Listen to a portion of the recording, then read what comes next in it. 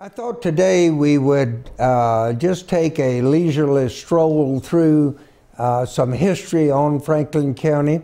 Hopefully, some of the things that you didn't know about Franklin County, some of which I'm sure you do know.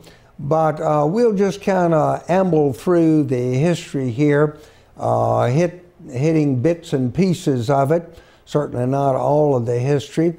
But uh, most of this will deal with the history of Franklin County. Uh, we did go back, and I thought it would be interesting for most people to know a little bit about the people themselves. Where did we come from? Uh, and where did, uh, where did we all come from? How did we start out? So I have uh, thrown that in to get started. Now, I'm sure that some people will object to the timetables that we've used uh, that uh, have been given to us by historians. Uh, it may not jive with the Bible uh, and the dates and so forth that have been proposed, particularly um, some theologians saying uh, mankind is 6,000 years old or whatever, or older and that doesn't jive with science. But um, my reason for that is that number one, the Bible was created to save souls, not to give a timetable. And whereas son of doesn't mean one generation, it may be sons of Abraham, may be generations and generations down, but still direct descendants. But you can't use that to calculate um, in the past, um, there was a archbishop by the name of James Ussher that tried to figure this out based upon his calculations there, and uh, he lived from uh, 1581 um, to uh, 1656, um, I believe. But uh, he came up with the fact that the earth was created on Saturday, October the 27th, 4004 BC at 6 p.m. Well, those calculations, unfortunately, have kind of stuck with people over the ages. But my feeling is uh, the Bible was written to save souls, not to give us a timeline. And uh, time is immaterial to God, you know, it's everlasting. So I find consolation in Acts 17 26 to 28. And in this, he says, From one man he made every nation of men that they should inhabit the whole earth and he determined the times set for them and the exact places where they should live. God did this so that men should seek him out and perhaps reach out for him and find him, though he is not far from each one of us. For in him we live and move and have our being. We are his offspring. And as far as I'm concerned, we've never found anything that God hadn't made. So we're going to amble through a long, long history from two million years ago to the present, and um, I hope you will enjoy it. We'll do the best we can. Uh, some elements of history of Franklin County, uh, but we're going back uh, to the origins of mankind here for just a little bit. This is to digress a little bit because I think it makes things more interesting if we talk about where man really came from and how he came to uh, came into its being. Uh, so I hope you will find that a bit interesting. Um, here we have a um, a very early tool, man's first tool. And bet you didn't know that man has been around for about two million years. As a matter of fact, uh, everybody started in Africa. And then there were uh, tours coming out of Africa, and many of these did not uh, persist, and probably due to environmental changes. And the same thing happened with um, this Homo erectus, which was a man of about two million years ago. Uh, he came out and went to Europe by 1.2 million years ago, but with uh, climate changes, he didn't persist. So then we come up to the, uh, the second stage, um, and this would be the Homo heidelbergensis. Heidelbergensis was a uh, group that um, originated very, very early, uh, and they did the same thing. They came out of Africa and came into Europe and Asia.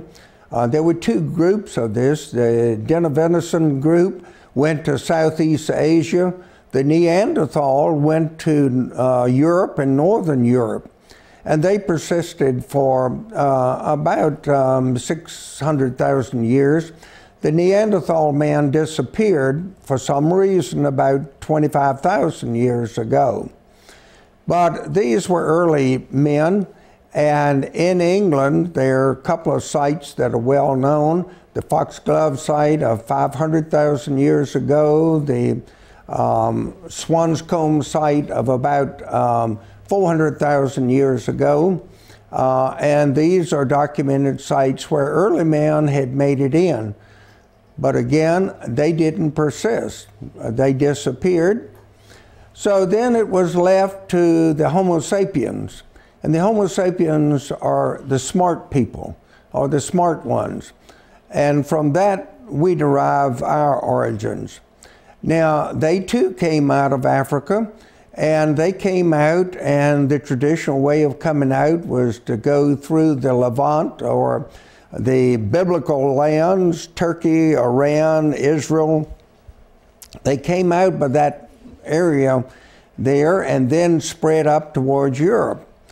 And the Homo sapiens did that and 125,000 uh, years ago, but they didn't survive either. And it wasn't until about 60,000 years ago that Homo sapiens tried again coming out of Africa and this time they did succeed. And um, so we can see with the early man here, he was devising a tool.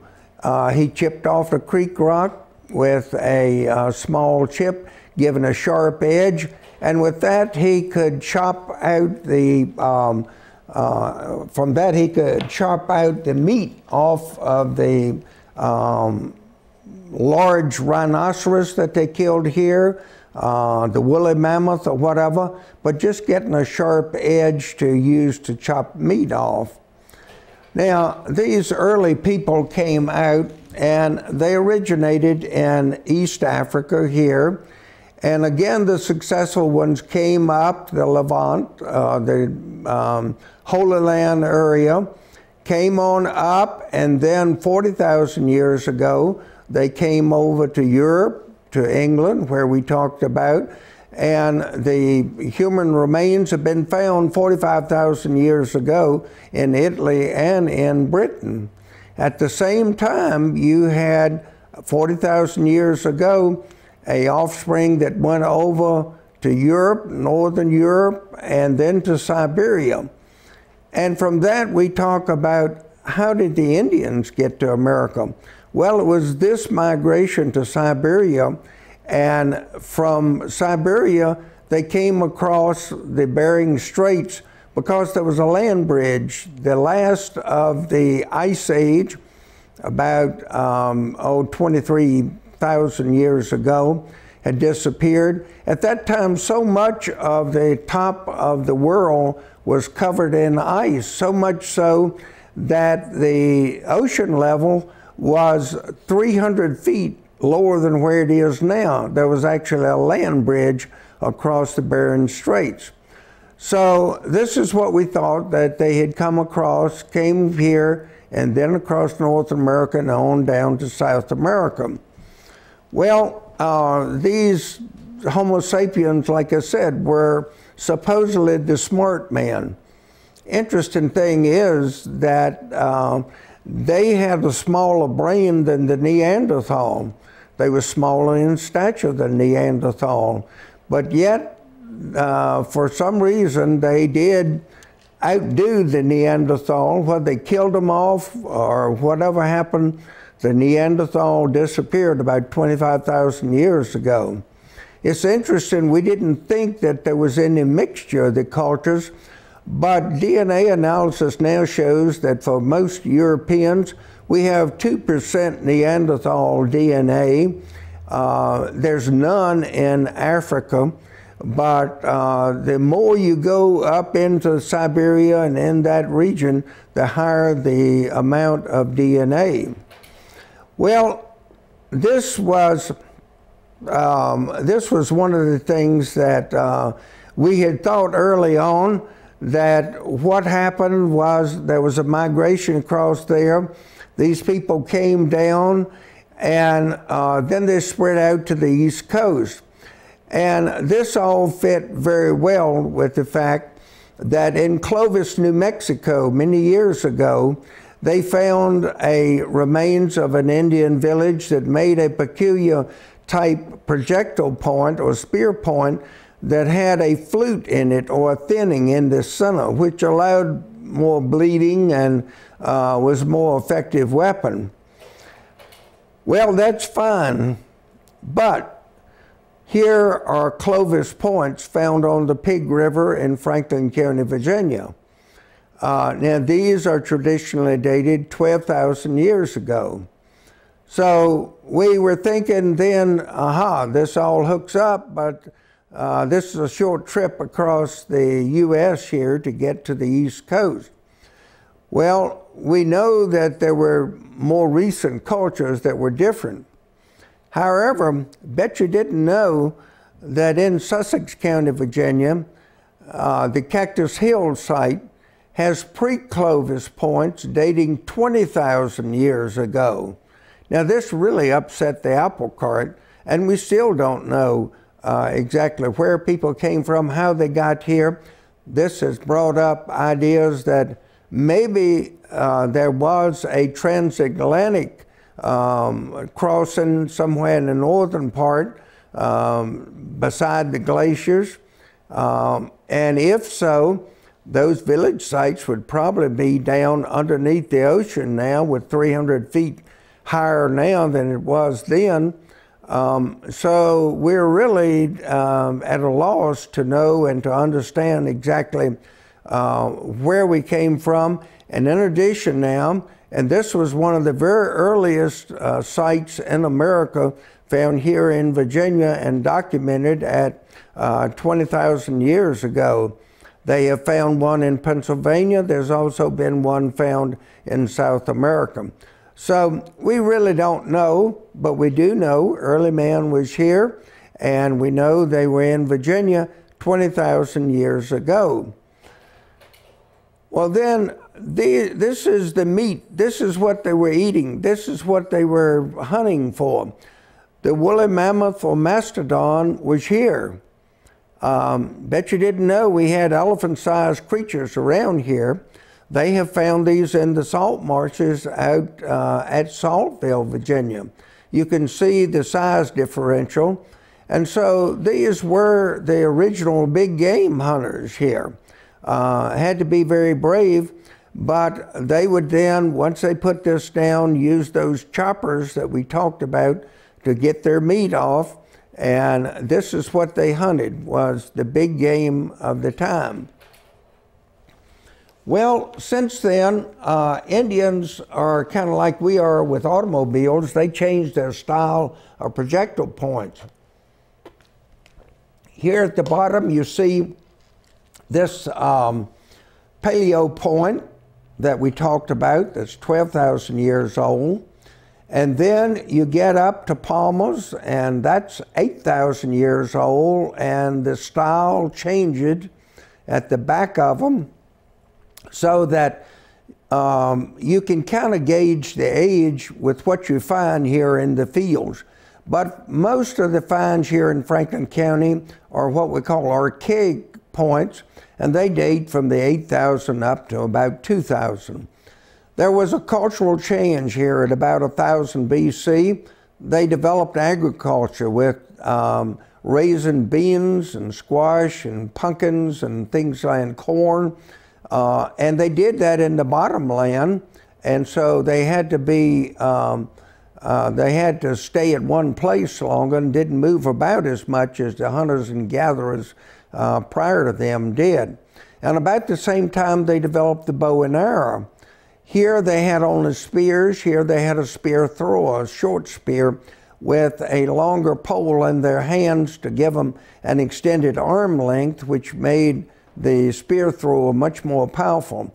But here we developed the bow and arrow, and we went to triangular projectile points. And the last projectile points of the Indians prior to leaving here were these triangular points, and the later, the smaller they became. Well, the Indian villages tried to protect themselves uh, because there was a main um, uh, highway north and south from New York to Augusta, Georgia, and the Indian is Great Indian Warpath. Uh, and on 20 miles either side of that, they would make war on Indians and collect scalps.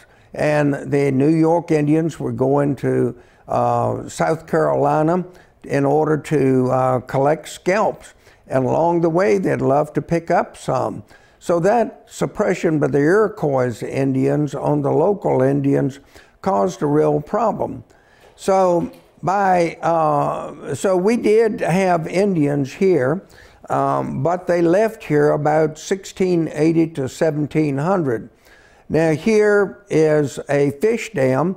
When you come down Blackwater Hill and cross the Blackwater River Bridge just north of Rocky Mount, if you look right over the bridge, you'll see this V-shaped fish dam.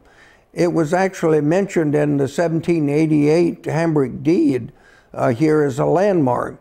But what the Indians would do, they would put a V-shaped uh, dam here, send the Indians upstairs, upstream uh, to chomp down the river. They would place a basket here and then drive those fish in the basket, take it home and have a fish fry for the village. And that still persists to today and is very visible. You can see it. Um, over at Wirtz, uh, this was plowed up many years ago, probably a ceremonial Indian axe. Um, it's very, very large, as you can see by the size of the quarter there, that um, this is very large and probably was more of a ceremonial piece than an actual piece that was used. Well, I don't know if you've seen anybody that looks like this, but probably this is the original Indian statuary. Um, you can't really see it, but there are little marks right here, streaks, uh, V-shaped streaks. Uh, and we think this is truly an Indian piece that was uh, found in the woods down around Jack's Mountain uh, in the Glade Hill area many years ago. Uh, but that's just evident that the Indians were here. Well, uh, what they did, uh, they disappeared about 1680 uh, to 1700. They were all gone. Now, this is the view that Batts and Fallam expedition had. That came out of we out of out of um, Petersburg and came up looking for the western waters. In, six, in September the 6th, 1671, they first saw the mountains, and it is believed this is in the Burnt Chimney area of Franklin County that Batts and Fallam expedition first saw the mountains. And they proceeded on and went up to the Totora Indian village, uh, which was probably anywhere from Salem to Christiansburg and then went on to find the New River flowing westward. And that was a new direction, so they named it New River because it empties into the Mississippi, not the Atlantic Ocean. So uh, these were the early explorers. Well, at the time they were here, William Byrd was already here dealing with the Indians in 1671. That's William Byrd that established Richmond. And his son was also involved in the westward expeditions uh, as well. Well, These Indians were local Indians, they were Siouan Indians. And you think of Sioux Indians as being those uh, buffalo hunters, but they originated in the Ohio Valley. Some came east as Eastern Sioux, some went west. And here we had, we mentioned the Tatura village. Um, the uh, Saponi River was the Roanoke River, originally named. And uh, the Sapone's uh, main headquarters was down around Charlotte Courthouse on the Roanoke River or the Staunton River is called. Um, but they were here. Uh, and then we had the Monacan Indians that were up around Amherst. And the Monacan Indians probably was an assemblage of Siouan tribe. The Tuscarora Indians of North Carolina were defeated by the North Carolinians in 1712.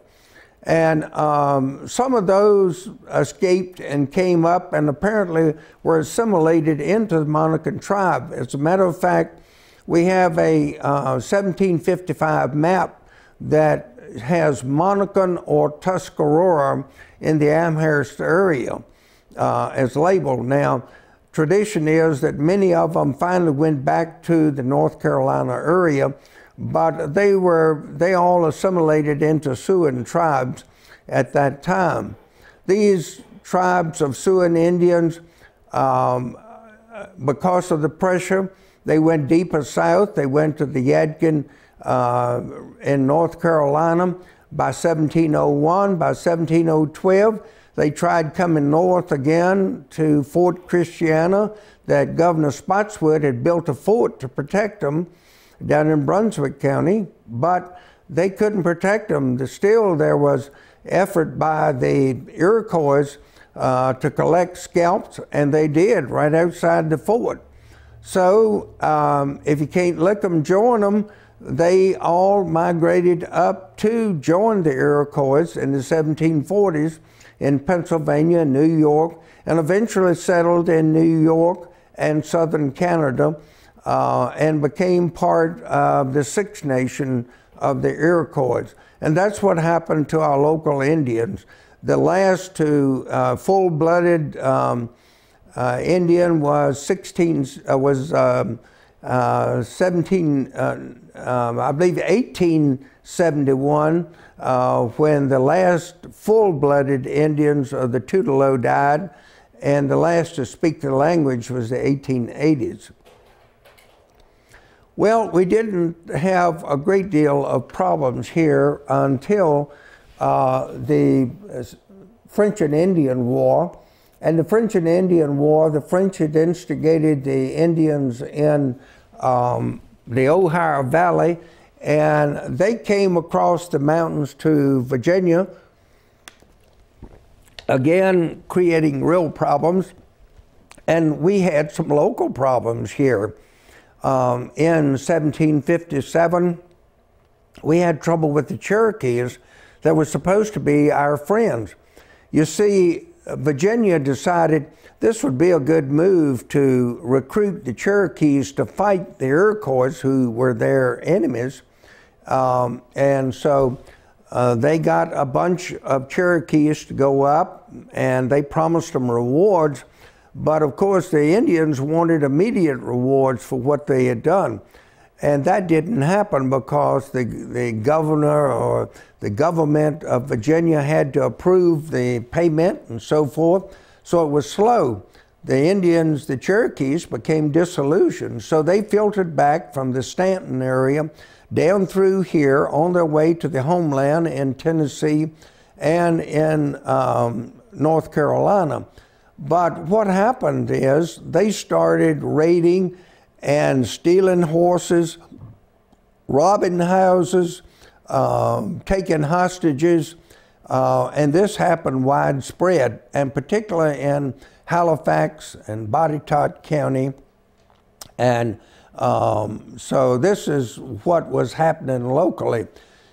Just below Smith Mountain Lake and one mile above the mouth of Pig River, uh, there was an engagement. Some people from uh, Bedford County and Henry Woody, who later settled in the Sontag area, uh, was in this group, that they came across the Indians down that had crossed over the Staunton River and were in what's now Pittsylvania County, and they engaged them there trying to get their horses back.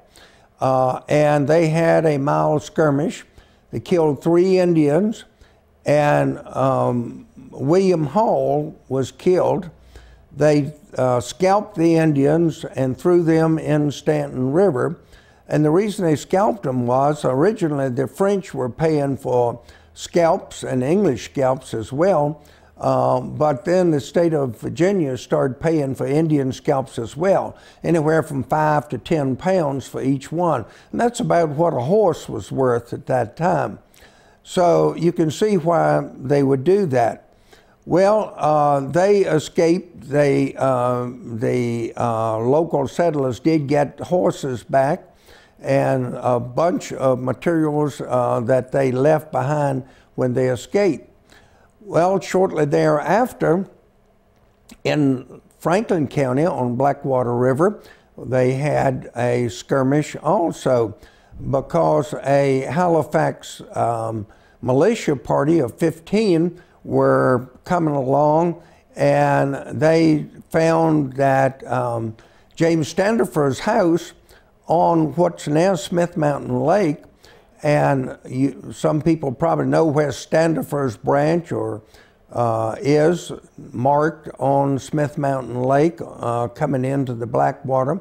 Well, Standifer lived there, and this was just down below the cliffs that many people know um, in, um, in and on the lake. But the um, Indians there had raided his house. They took his neighbor Bird's wife as a hostage but they were plundering their house and she escaped. The Indians crossed over the river and they crossed over at a place that they had told uh, that the white settlers that joined them, another um, 30 uh, so joined them, the 15, and they had a group of about 40 that came along and um, they went across the river uh, to meet them and had a mild skirmish over, I think, somewhere around where the Boxwood Green development is, uh, is where that took place. Not terribly far from the 4 H Center. But that was the only actual Indian engagement in Franklin County. But Indians were causing a real problem here, and that was French and Indian War. And here you see the cliffs here. Standifer, um, Standifer Creek would be right down here. And the Indians uh, and the early settlers said that you would have to cross somewhere up here to cross that, and that's because of these cliffs. Um, so they are the landmarks we use to determine that. But um, this was the, the situation here and they were, that was the real problem.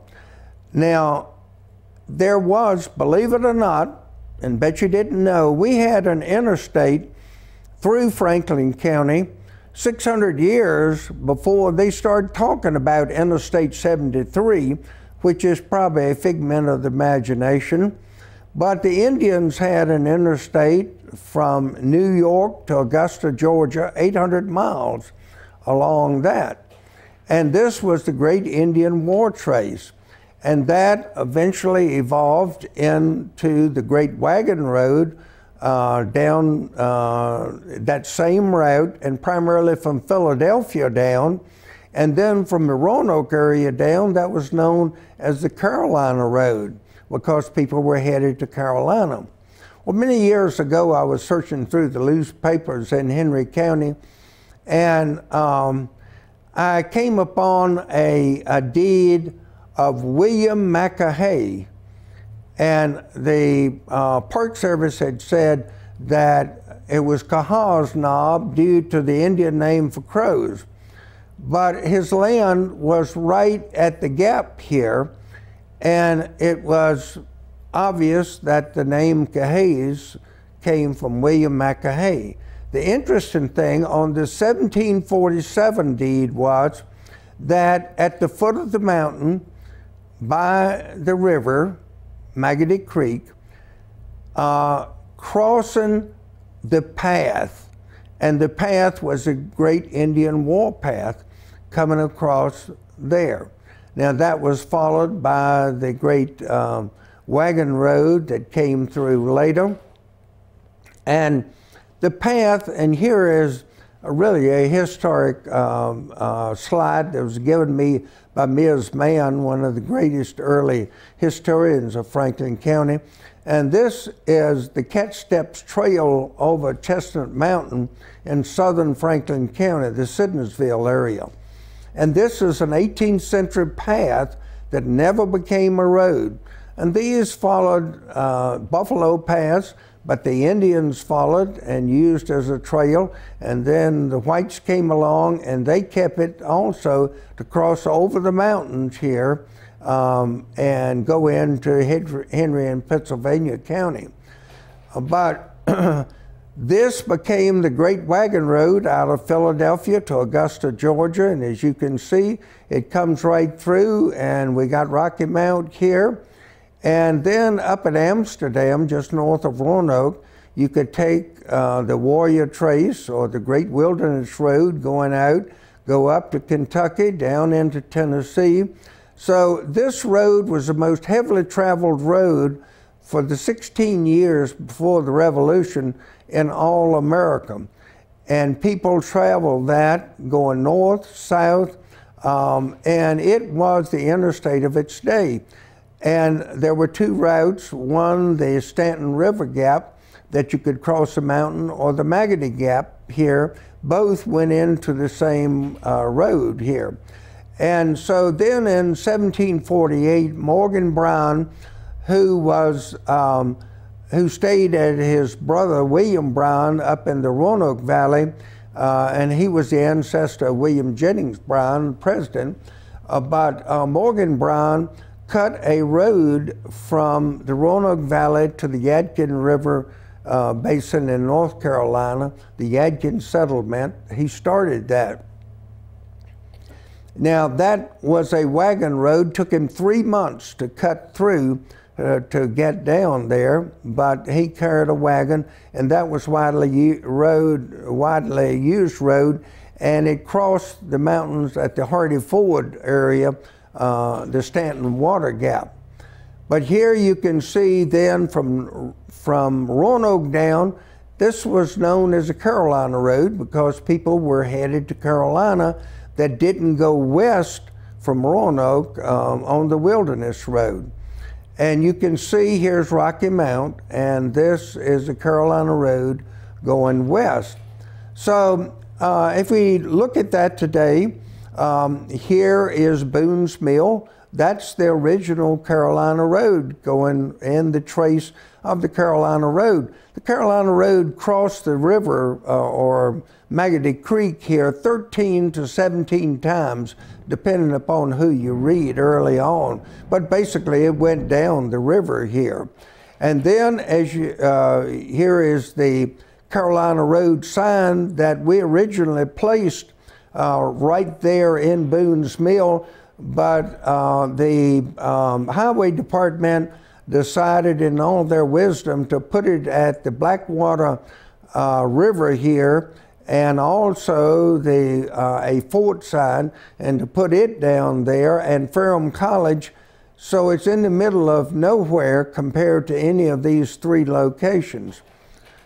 But uh, here is uh, the original Boone's Mill. And we're looking with, at Maggodee Creek here. We're looking from the backside of Maggodee Creek. Where these mills are today is 220 Highway uh, in Boone's Mill. And across the creek is still Jacob Boone's house of 1782. Um, and he established that and established the mills. Now that's looking at Maggodee Creek, and across Maggodee Creek would be uh, those two mills. And as you come south from Boone's Mill, you can see the indentation in this field. That was the Carolina Road crossing at Retreat Road here. Um, and um, Bill and Nettie Short have built a house right here uh, at the present time. But you come on down to uh, Dugwell, and this is the Carolina Road. The Blackwater River goes here. Um, that's the Blackwater crossing. And then uh, this is the Carolina Bottoms here, still known as the Carolina Bottoms. Here's the road coming out of the ford, and there is the Narrows, which is the highland uh, between the bottom as the river makes a curl around here. Um, and right in here, in the Carolina Road, several years ago, a guy with a metal detector found a Connecticut 1786 penny, again showing you the interstate of its day with the travel coming through this particular area. Now, this is the Narrows, the highland area, and it's a farm road, but this is the original Carolina Road. And right to the right of that is a uh, rock ledge that is a cave back here, and it's called the Devil's Den. Now, you can't see it, but uh, right here is a uh, full grown teenager, uh, Steve Thompson, standing in the mouth of that many years ago. The Blackwater River is right down here. And what uh, the Indians would do, they would camp in this. The early settlers would come off the Carolina Road right above it and pull down, and uh, they would camp in here. Uh, and it's been a favorite camping place uh, for Boy Scouts and other people for many, many years. As we go further down the Carolina Road, we find Carolina Springs Church right here. This is not the original church, but is one built on the site. The spring is right there, and the road went right through here. Uh, in 1769, they specified that they build a Church of England church here, and by the spring, uh, at the crossing of the Carolina Road and the Chiswell Road, which went west. And this was probably a culmination of the Pig River Road um, and the Warwick Road, one of the places to cross the road. 1761, they had set up Fort Chiswell in southwest Virginia out towards Wytheville. But here are some of the early uh, graves, most likely. This was a black church uh, more recently, um, and uh, some of the cemetery headstones from that. When you look uh, from that church, Here's the original old road path uh, right by the church. Now, if we go further down to Wade Park, now this was Wade Park uh, when we originally saved the road, which was the original Carolina Road. And when they started developing the road into Wade Park, they were going to go right over this. And so we convinced the Board of Supervisors to move the road over uh, just a little bit and save this as a walking trail because this was the only preserved segment of the Carolina Road in Pennsylvania, Virginia, or the Carolinas at the time we saved that, that was on public land. So we accomplished that. Nowadays, the banks have eroded and fallen in, but there's still a walking trail up the original Carolina Road. And if you go a little further down at the ford on the river, this is the Carolina Road. This is the original stagecoach stop. This addition was built on in the 1880s. 1950 it burned and only the chimneys are left uh, on that. The Pig River is right here um, and the crossing is right over here. Uh, there was a blacksmith shop there. But this was a stagecoach stop from the 1790s uh, on down. Uh, here, Steve Thompson, the teenager I was telling you about, um, standing at the ruins of the chimneys, um, and the widow Ferguson had had this place. She left it um, to her grandson, uh, Wade, and that's where it takes the name the Wade Recreation Park now. It was interesting that John Brown came through traveling in 1794, and at this very place, uh, he stayed there and he was surprised because uh, in Franklin County, 30 Negroes were assembled at a Negro house and having a Christmas ball. It was Christmas time. And he was amazed that they had let the, um, that they'd let the slaves have a Christmas party here in Franklin County, Virginia, which is well documented. And uh, he stayed there and moved on the next day, but they were still celebrating Christmas.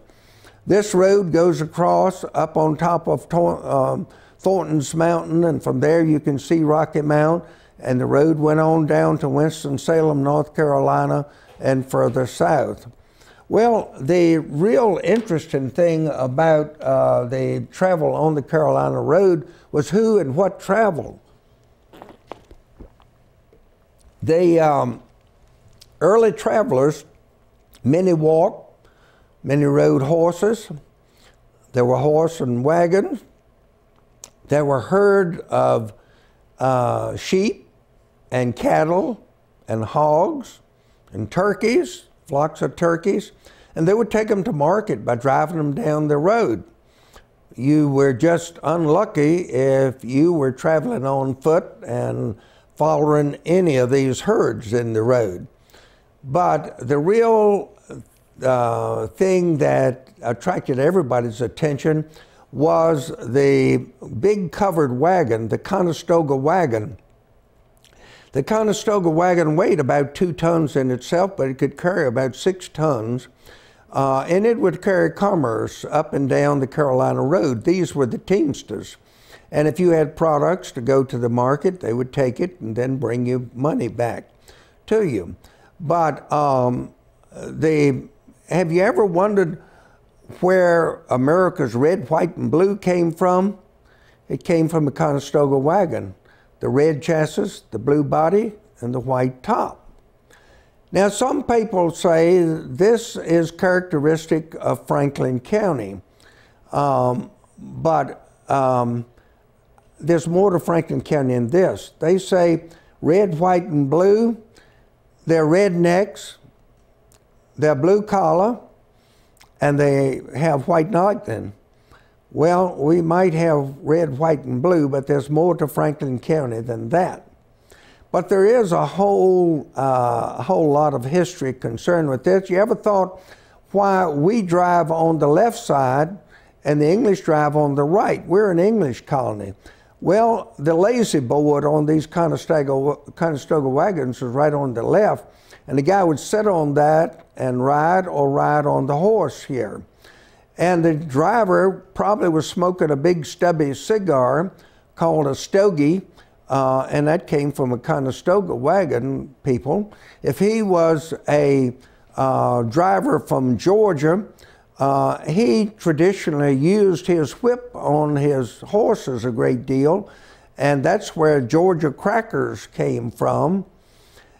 And then on your little lead horse here, you would have a little uh, series of bells set up. And it was tradition that if you broke an axle and somebody stopped and helped you to get going again, you would give them your set of bells from here.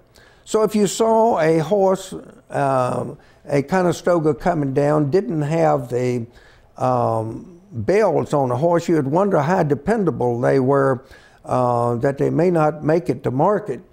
So that's where our term be there with bells on means you can count on me. Uh, I'm reliable.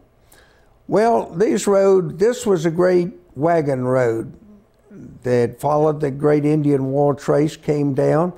And this is a 1755 map, and it shows here the crossing of the Blackwater as well as um, the uh, Pig River here. This road, there was also another road called the Warwick Road. Warwick was a deep water terminal down below Richmond, and this road roughly was Route 460 that came west. Seven, that was 1746. 1749, you see a little sketch line, and they made a loop through Franklin County. And that was from New London across the mountains and into the New River Valley. And that was a shortcut through there. And they were sending munitions from Williamsburg to the New River Valley 1751, 1752 by this route coming this way. If you were driving cattle, uh, and there is a record, 1750s, that they would drive them, take the Great Wagon Road or the Carolina Road, the market down to Salisbury, North Carolina. So coming out, going down there. The market for those days for the cattle was either Salisbury, North Carolina, or Philadelphia uh, for marketing. Well, this is where you rolled your tobacco. That Warwick Road, that uh, the Warwick Road that we're talking about here, was this road here going east and west, and that would take 460 up to about New London, then kind of cross Route 122, and um, then out the the um, Callaway Road, and this would be roughly the Warwick Road extension here in Franklin County. But that was also the Rolling Road, and uh, up um, where you see the Crowell's Gap Road uh, at uh, Roanoke, that was the earliest rolling road. And that's what they did. They rolled the tobacco, you would pack it in hogsheads, and that were like big drums, put an axle through that, and take an oxen or a horse, and you would pull that, and you would take it all the way to Warwick, uh, down at the deep water terminal at Richmond to put it on board the ship here and send it to Europe. Um, so that was a main ingress, and so we will talk a little bit about something you probably didn't know about Franklin County. Here you see the Warwick Road coming east-west. There was a Pig River Road of 1753 that also went east-west. Now, I want you to take Franklin County and cut it half in two, north and south. On the east part of that, you have the English and the Scots. This was tobacco raising, and they brought in blacks to raise tobacco here in eastern Franklin County. These people came in with the Warwick Road, the Pig River Road, and there was Hickey's Road down here, just south of us, that dates to the 1740s. Well, then let's, uh, these were tobacco raisers. Then on the west of that, west of this area, in the northwest corner, these were the Germanic tribes. These were the Dunkards. Came in um, 1764. William Miller brought in the Dunkards from Pennsylvania, and they came in. They were great at diversified farming, orchardists. Um, they um, did um, all kinds of things to make a living. They were very diversified and very ingenious with what they did. There's a loop out in the Red River, uh, out in the um, uh, Red Valley area here east that was extension uh, uh, and a great deal of our Dunkards, the Germanic people, live out in there.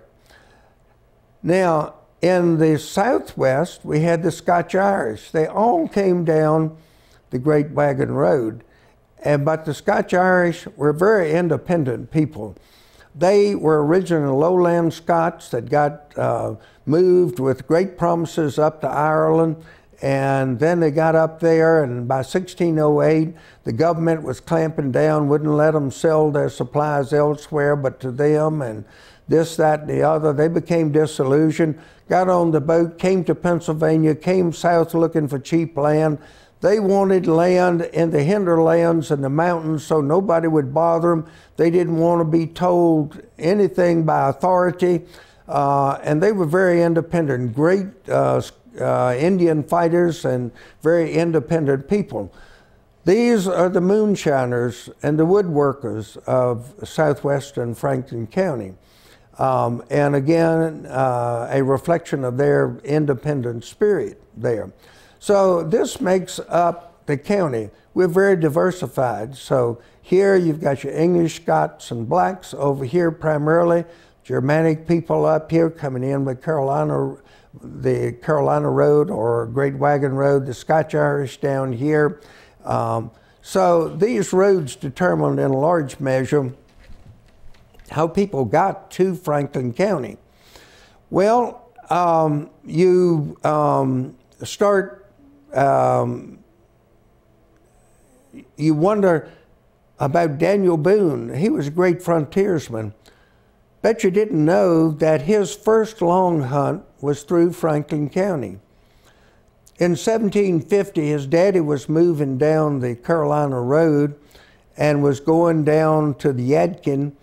Um, and so Daniel Boone, being impatient, was 16 years old. His dad wintered in Harrisonburg. So Daniel got him a partner and started hunting down the Great Carolina Road, came down to the uh, Big Lick, or what's now Roanoke, uh, and that was a big salt lick with lots of game. So they killed lots of game there, came down crossed the Hardy Ford Bridge where Morgan Brown had cut the road in 1748. Uh, and that was the road his dad was following to the Yadkin. Um, and it's interesting that Daniel Boone uh, went down and um, he grew up down in the Yadkin, and he and the Boone families just intermarried. As a matter of fact, he married, um, uh, Daniel Boone married Morgan Brown's granddaughter, which he met at um, Billy Brown, who was the 16 year old son of Morgan Brown, and uh, Billy Brown married Daniel Boone's sister. So they were all uh, interlaced one way or the other the two families, and um, Billy Brown went with Daniel Boone out to establish Boonesboro and then established his own fort, Brown's Station, um, and was killed by Indians in 1780 there. But Daniel Boone did make his original trip, his hunting trip, uh, here in Franklin County. And what he did, he crossed up at the Hardy Ford Bridge now and came down the eastern part of the mountains here and went down to the Carolinas uh, for this. Then he went back up and sold, and uh, they made great money.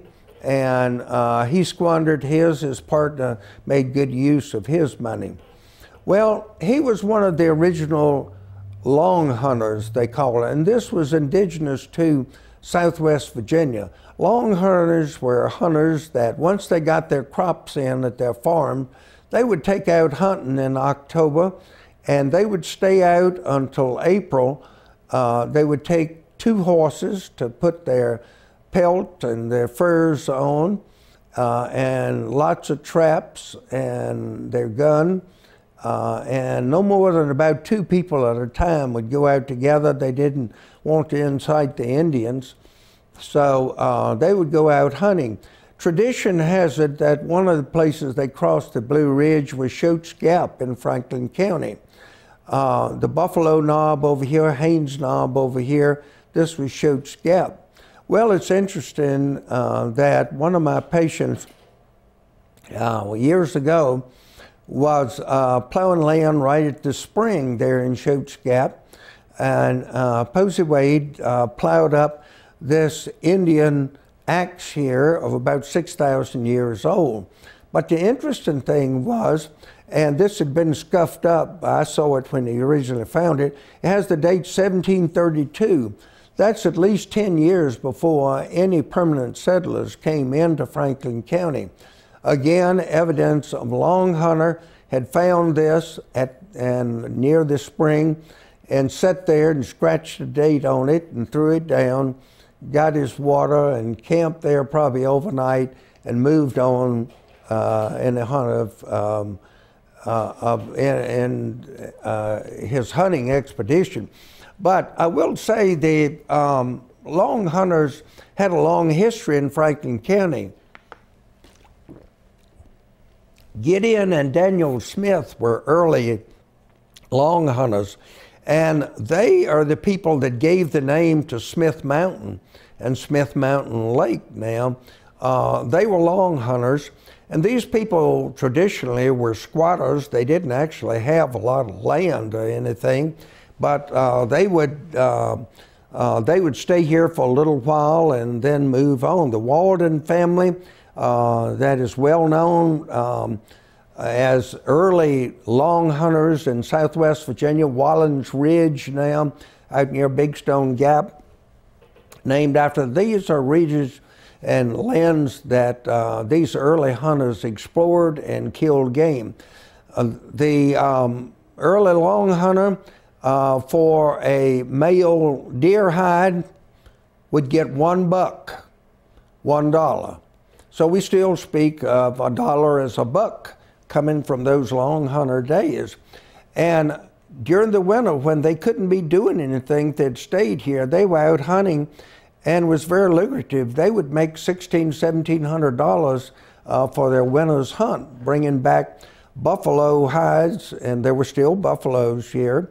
Uh, buffalo hides uh, in the Southwest Virginia um, were sold uh, very readily to England, and deer hides and pelts, uh, they were a big commodity. Well, the Carolina Road was also a road uh, for travel. And this is the oldest piece of Franklin County furniture we know of. And this belonged to Benjamin uh, Ray, who lived on Maggodee Creek. The Moravians, when they left Pennsylvania, headed to uh, Old Salem, North Carolina, uh, Winston-Salem now.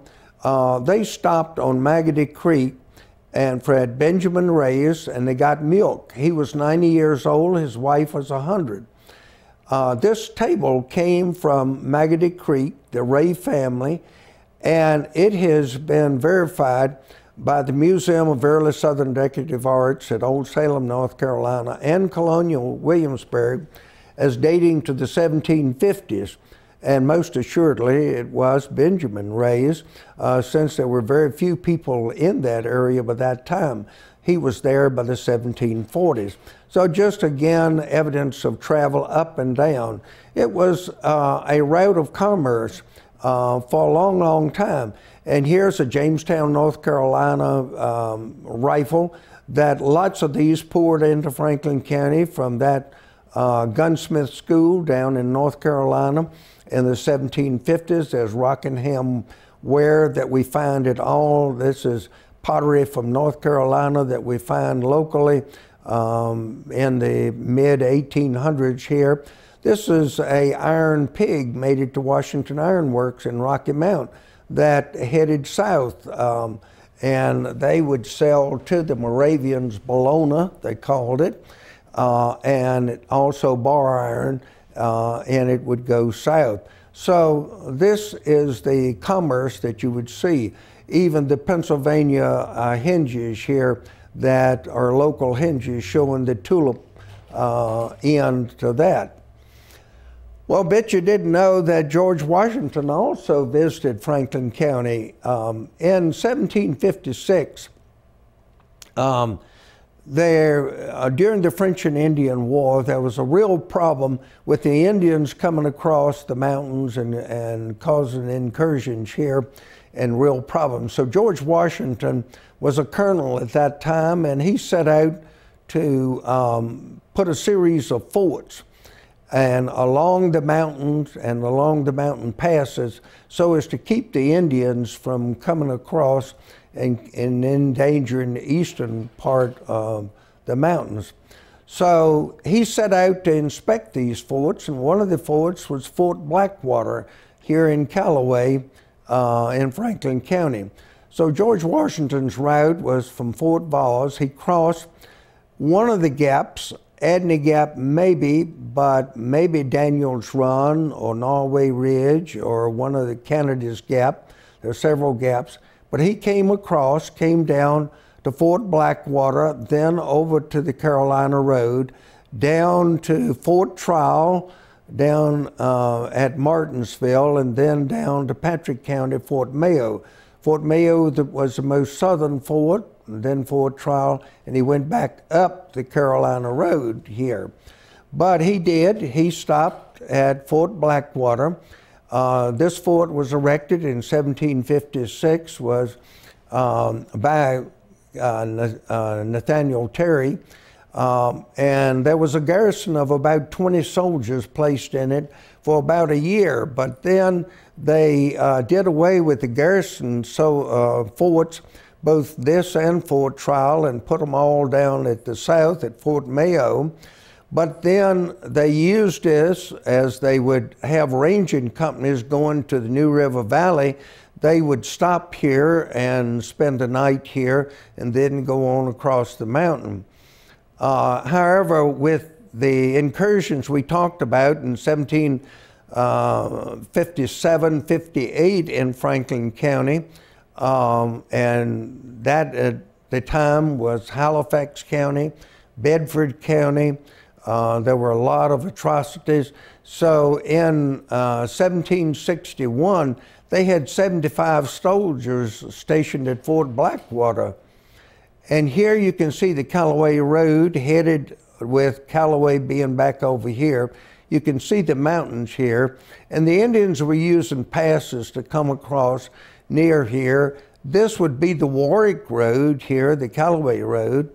And this eventually went on and went across the mountain. But these Indian incursions were happening. Robert Pusey, 1758, uh, lived on the Otter River uh, here in uh, southwestern Franklin County.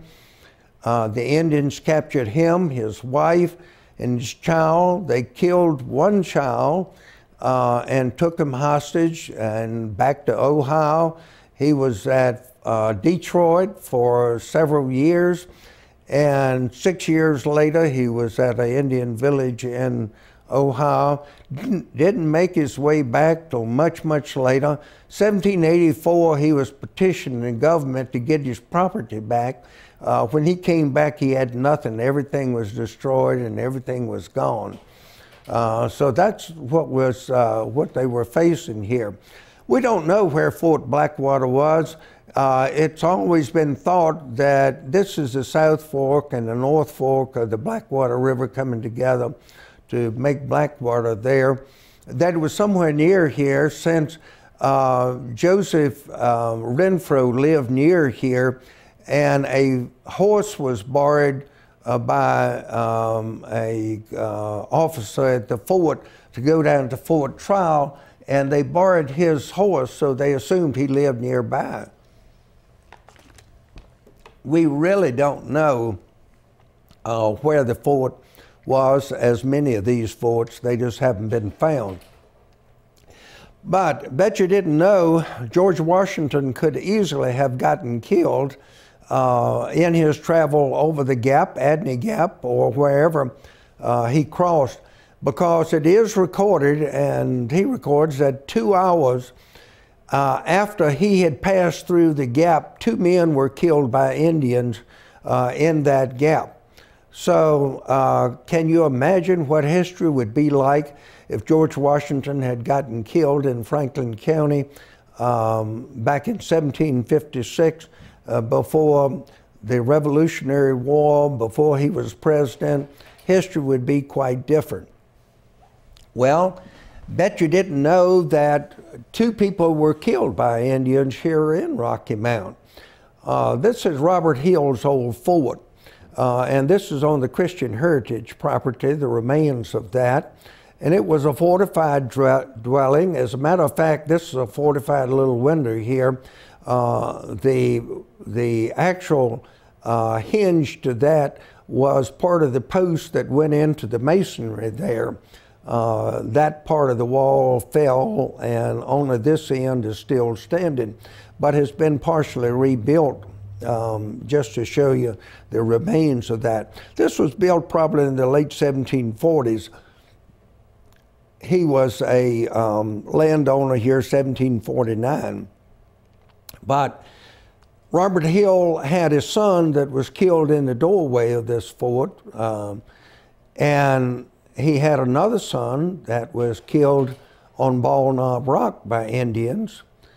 And Robert Hill's grave is right in front of the armory uh, here, right off Tanyard Road. So um, it was a wild and woolly time, but he also had a third son that was killed by a cougar or mountain lion uh, on Scufflin Hill. So times were rough, but uh, Robert Hill himself was in the uh, battle in 1774. Uh, Cornstalk, the Indian uh, of the Shawnees, uh, got together, the Mingo Indians, and so uh, they, um, the big battle was fought up at Point Pleasant, 1774. Andrew Lewis had local troops, and Robert Hill was in that. And this was hand to hand combat with Mingo and Shawnee Indians. Uh, and Robert Hill was one of the people in that. This is to show you this is a war club of a Shawnee Indian and his Indian bead that he was wearing at the time, showing that he uh, was a warrior uh, for this expedition. Um, interestingly, these beads were made in Williamsburg of glass and traded to the Indians, and they had used them as a war symbol at that time. This is a powder horn that um, uh, a um, soldier Bracken out in um, uh, Greenbrier had this. He was attacked by a Mingo Indian, which hit his powder horn, busted it, and then uh, tomahawked him and killed him. Uh, the sergeant took this back to the family, uh, and if you look inside that horn, you can't see that very good, but there are Indian streak, uh, blood streaks of um, Bracken's blood. So that's how vicious the war was, and we failed to uh, give tribute to these rough and tough settlers that settled uh, our nation for us. Robert Hill is buried in the cemetery right in front of the uh, National Guard Armory here in Rocky Mount, died in 1778, uh, but a true warrior himself. Bet you didn't know that Patrick Henry uh, stayed in Franklin County too. Patrick Henry retired as governor of Virginia 1775 and moved to Leatherwood in Henry County and that's how Henry County got its name, was after Patrick Henry. He was there 1775 to 1780. He was a lawyer. He would go to court at New London, and as he did so, he loved to hunt, and he would stop at the Ashpone Tavern, which is across the road and in the area uh, just across the road from the Sontag Recreational Center. Now, he uh, would come by, fox hunt, then proceed on to New London. After court, he would then come back, fox hunt, and then go home to Leatherwood. So uh, here is a, a, large Dutch oven that came from the old Ashpone Tavern, and either they were cooking for a lot of people or some very hungry people, it's about 14 inches across, three and a half inches deep. Uh, but my great granddaddy found that uh, many, many, many years ago um, at the old Ashpone Tavern site. Well, tobacco has always been a big commodity here. From early on, that was uh, a early commodity. And here the Captain Frederick Reeves house down on Pig River um, down in the Glade Hill area. Um, and this was built in 1779. And here you see the tobacco lands. The Pig River circles right down here. Here's the house. All this was tobacco land. And he came up, was an early uh, leader of Henry and Franklin County.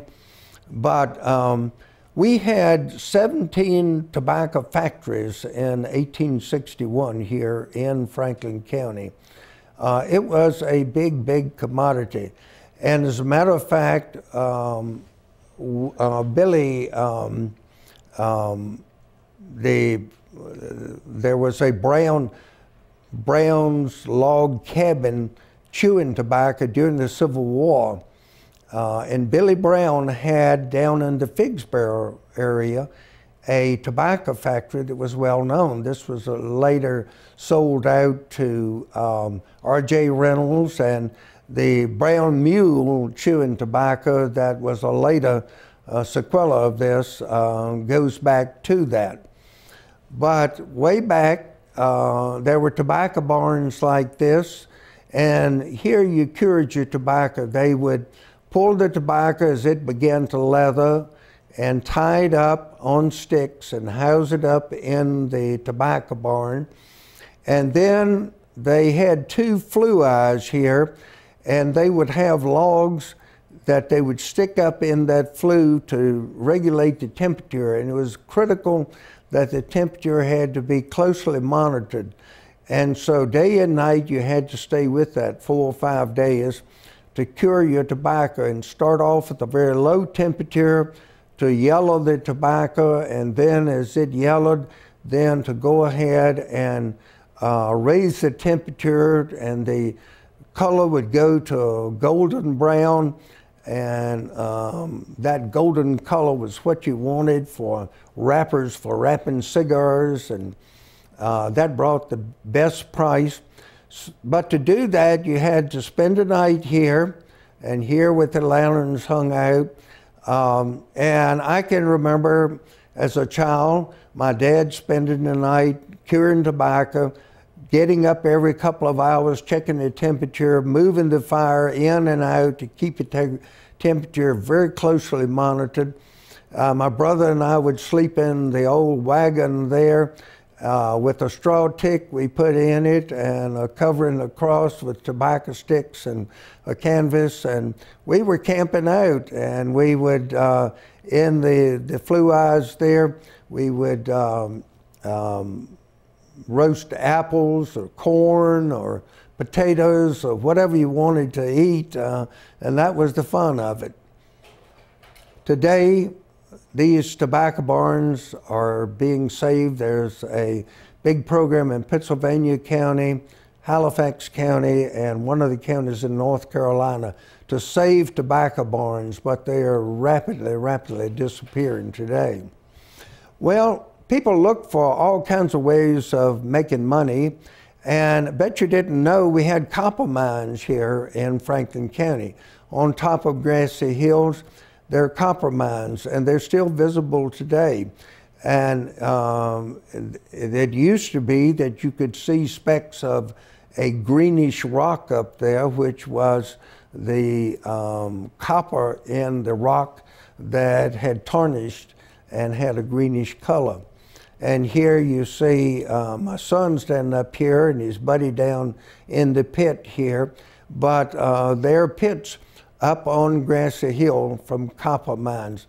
And that is mentioned that the road going through the um, present route across Grassy Hill, uh, they mentioned by the copper mines and to the ironworks in Rocky Mount. And this was the 1770s, uh, prior to the Revolutionary, uh, the um, uh, 1770, prior to the Revolutionary War.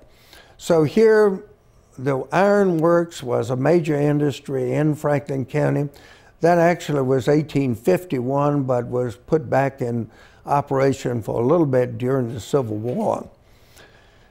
Bet you didn't know that the ironworks in Rocky Mount was established by President Andrew Jackson's father-in-law.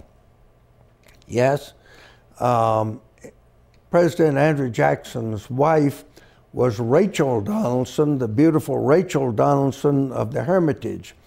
Her daddy, John Donaldson, built the original iron furnace here in, uh, and it, I didn't it was not an iron furnace, it was a bloomery furnace. Um, but it was uh, established in 1773 here, and it operated for a period of time.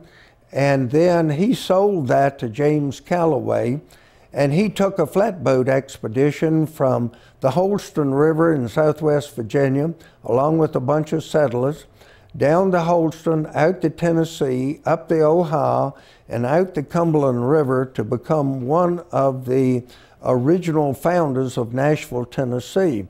And if you go into Nashville today, you'll see Donaldson Highway, and uh, he was one of the original founders. Uh, she was 13 years old when they left, and it was there that she met Andrew Jackson and married Andrew Jackson there, uh, who later became president. Well, what uh, James Calloway did, he went up and developed a larger operation with a uh, blast furnace. And he expanded the plantation to 18,000 acres, and the town of Rocky Mount grew up around this. Here you can see the little chisel marks in the stone. And what they did, they went up on the rock ledge on um, Scufflin Hill, right across the creek from the furnace, and they took iron chisels and chiseled these in a linear line, put wood down in that, soaked it with water, and as that swelled, it would crack the rock in a straight line. And that way they could get straight stones for erecting this. But the result was that they built a large iron furnace. And here you can see this furnace was built in 1779. Look at the edges on that now and how true it is. Um, and what they did, they built this. Here you can see the notch for the furnace, uh, for the um, platform. There was a bridge that went across here, and they would bring limestone ore, charcoal, uh, and uh, the iron ore and dump all three of these down in that. Uh, this would be 2700 degrees down in here. You had a pumping tub or a pumping bellows here that would pump air into it to keep that temperature high. Then of that iron ore, about 50% would be iron. They would then have a long furrow with some side furrows. It looked like pigs sucking a sow, and that's what you get pig iron. And I showed you a piece of the pig iron um, previously. They would take that to the forge, remelt it, and beat it into iron bars. Here you can see part of the dam that would have a sluiceway coming down here, a big water wheel here that would be turning a, iron, a large axle that would force the air in by pumping tubs in here. Um, this was uh, this was established during the Revolutionary War. And the announcement of the opening of the Washington Iron Furnace, and George Washington hadn't won the war in 1779. It wasn't until 1781 that he got the uh, surrendered Yorktown. But he was a friend of James Calloway, and so he named it after him. But this was in the Journal of the State of South Carolina in Charleston, South Carolina, when this was uh, published.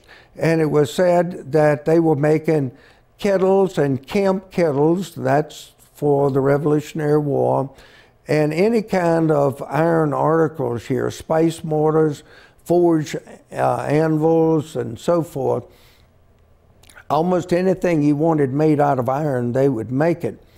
It's interesting that prior to this time, if you wanted a iron pot or, or a, a skillet or anything out of iron, you had to order that from England. It would be brought uh, across and down to the deep water terminal at Richmond, at Warwick, up the Warwick Road to New London, to the stores up there, um, or to Hickey's store down in uh, Henry County. But that was a long ways to transport iron, which was very heavy. So you can see why when this was established and you could buy these articles right here in Rocky Mount, that there were so many roads coming from every direction into here, and it was like the center of a hub um, with the spokes out, uh, with the, all the roads coming in. so here you have the iron furnace settled down and quite an industry established in 1779. It was totally self-sufficient. And the iron was quarried here in these large tunnels um, on Windsor Avenue and Diamond Avenue extension.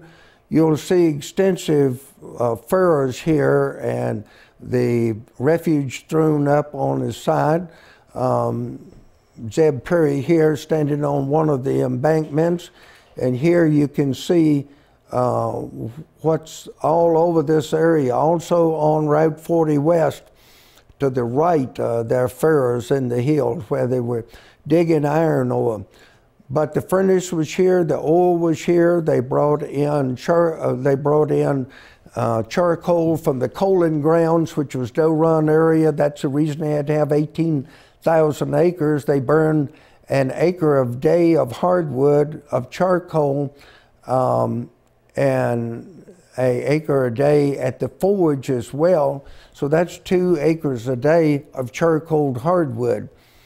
Um, and they brought the limestone from 16 miles down road at the Truvine area down on Pig River. They had their own tavern, their own store, uh, their mills. They raised their own garden um, produce here.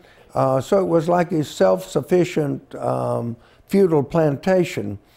Here, the forge that was downriver, down where the uh, public works are at uh, for the Rocky Mount uh, maintenance shops.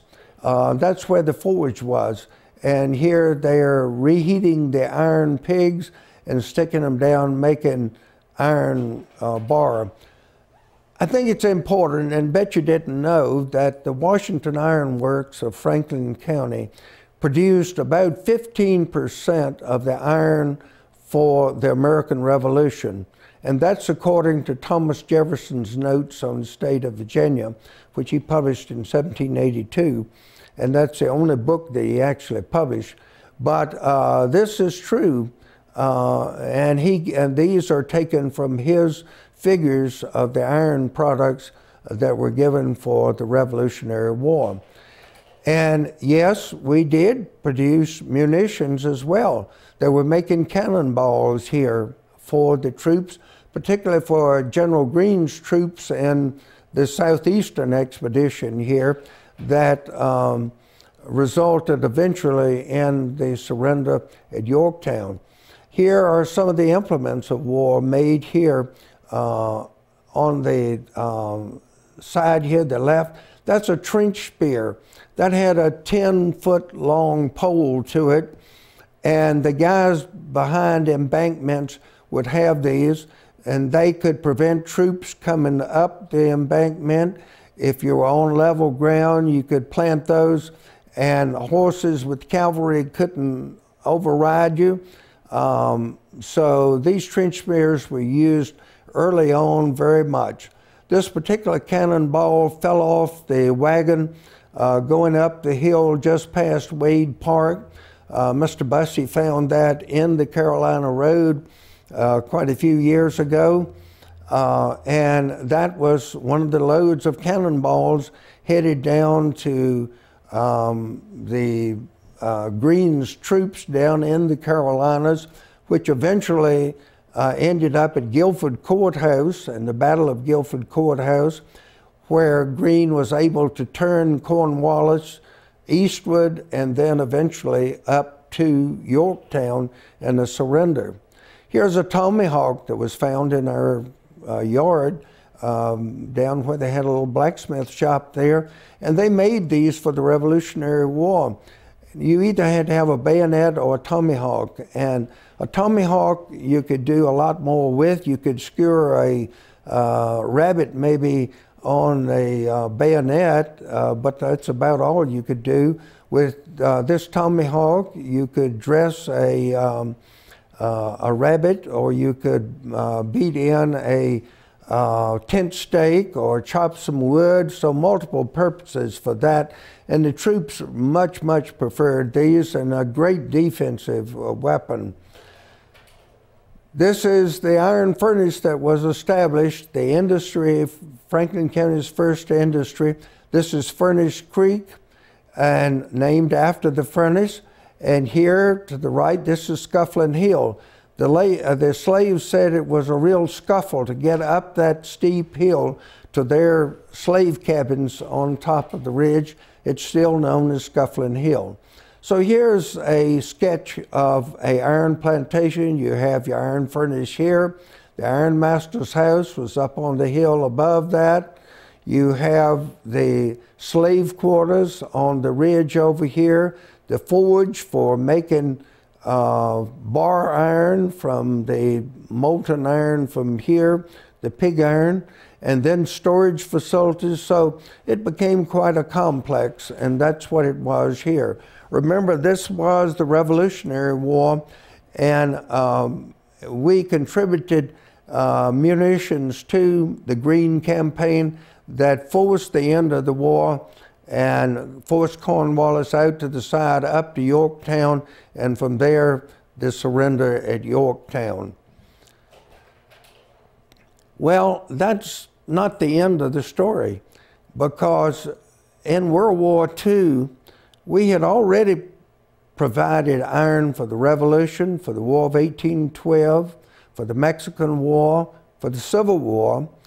But in World War II, there was an iron shortage. And they went down to the old forge site and dug and got hundreds of pounds of iron to contribute to the World War II uh, iron shortage. And here you can see an American helmet from Normandy with the wounds of um, machine gun, here artillery fire of a German helmet, and this is on one of the maps um, of World War II. Um, and so you can see we contributed to World War II with iron from here. Well, on the same iron plantation, the ironmaster's house, in 1784 had also been given a license as an ordinary, and that was like a tavern.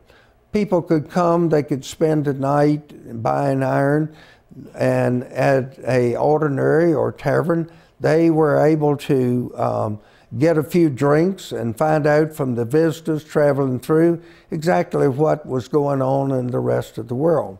So they specified, the, the uh, state did in 1785 that the formation of Franklin County in 1786 that they meet at James Calloway's house at the Iron Works. And so here it was that they met, 1786.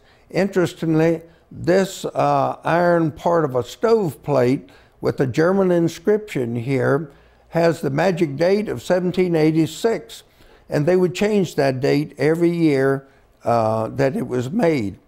But uh, this was found uh, in the furnace or at the furnace here uh, in Rocky Mountain. The Germans like stoves, the English like open fireplaces.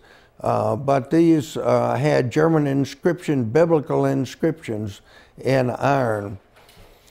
But it was in this room at uh, the Callaway's house that the Iron Works, which is our house today.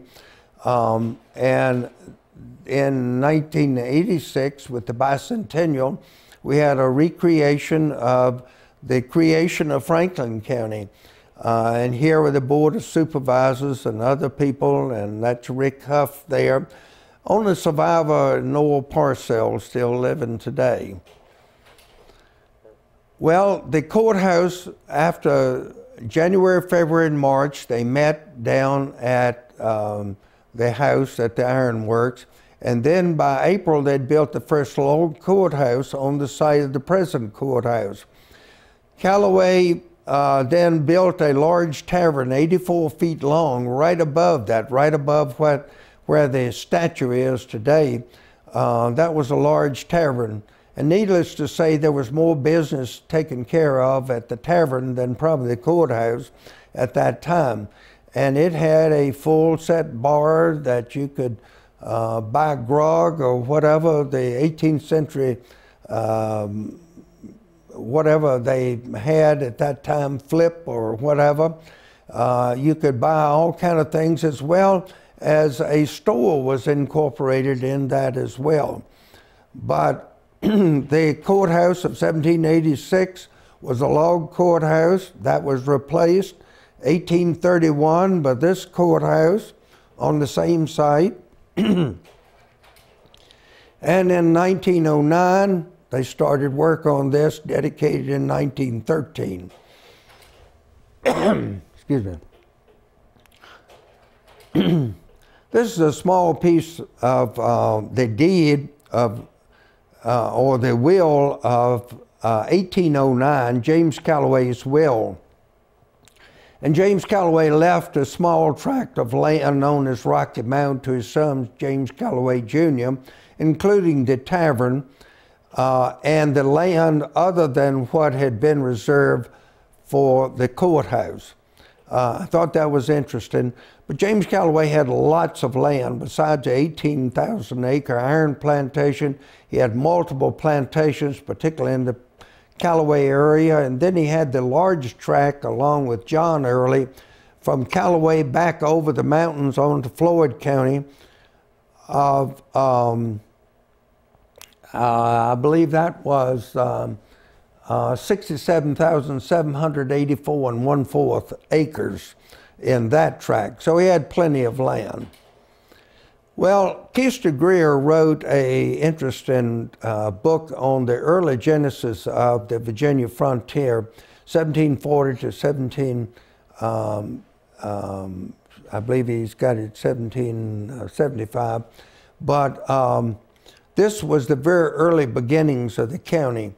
And Keister at the time, and he wrote this at the University of Virginia um, when he was getting his degree, but he discovered at that time Old Chapel Church that was still standing here in Franklin County. Uh, and this was published in the Roanoke Times. Well, Old Chapel Church persisted and is still there. Uh, but uh, it, uh, the congregation died out. It was beginning to fall apart and was placed on the market in 2011.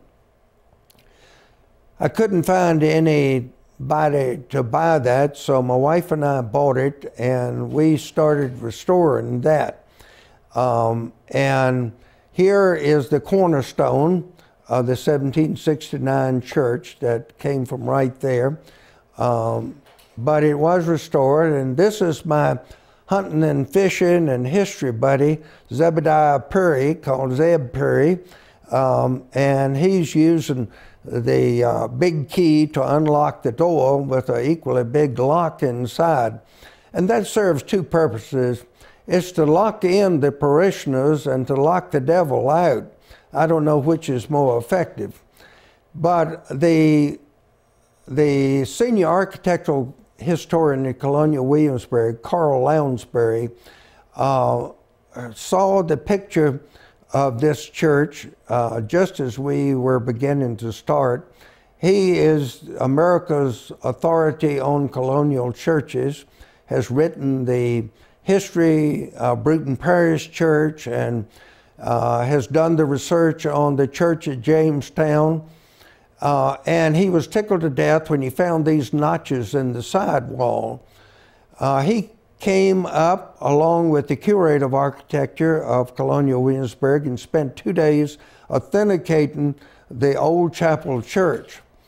And here, uh, what he found was the post and beam structure inside this church was never covered until after 1900. That dated from 1769 to 1900. This is the original structure that you see with the beams above. And what he found there, those notches are the platform for the pulpit, which in true 18th century Anglican architecture, the pulpit was on the side wall. You had a reader's desk because most Sundays you didn't have the actual preacher, but they would read from the Book of Common Prayer uh, and the, the reader would do that from this uh, point of view. So this is the appearance of that, but he authenticated this, and this church is now one of only four frame, pre Revolutionary War Church of England churches in all Virginias that's still standing that are documented. Uh, one of which is St. John's Church in Richmond, where Patrick Henry gave his Give Me Liberty or Give Me Death speech. This is also the oldest frame structure in all Southwest Virginia. Here is Carl Lounsbury's book on the Bruton Parish Church. And he was very much impressed with the guttered corner post here. Here you can see the corner post has been cut out at an angle. And he was impressed because this architecture didn't come to colonial Williamsburg until the 1750s. He was amazed that 1769 it was out here on the frontier. Um, and he stated that was state of the art uh, architecture at the time. And I told Carl, I said, Carl, we're not half as far behind as y'all give us credit for out here. These are the saviors of Old Chapel Church. Uh, these are the six, which I call the Super Six. These guys work almost every weekend for four years, volunteer work to preserve this old church. And here with the uh, state and national certification, and uh, they're on the national register. Um, we have Jerry Adcock, Kevin Hunt, Perry Adcock, his uh, twin brother, uh, Rick Fry here, Gerald Kirk, and Carl Kirk. These are the people that restored this church. And they did this because they wanted to see uh, this preserved and a tribute to the early Christian heritage of Franklin County and of America, and to the early Christians that founded this nation.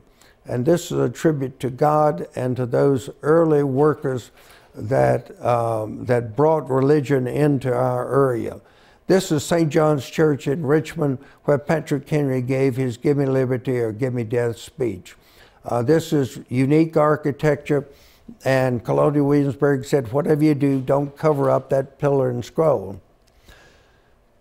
The, I'll bet you didn't um, know that Thomas Jefferson's secretary was living here in Franklin County in 1804.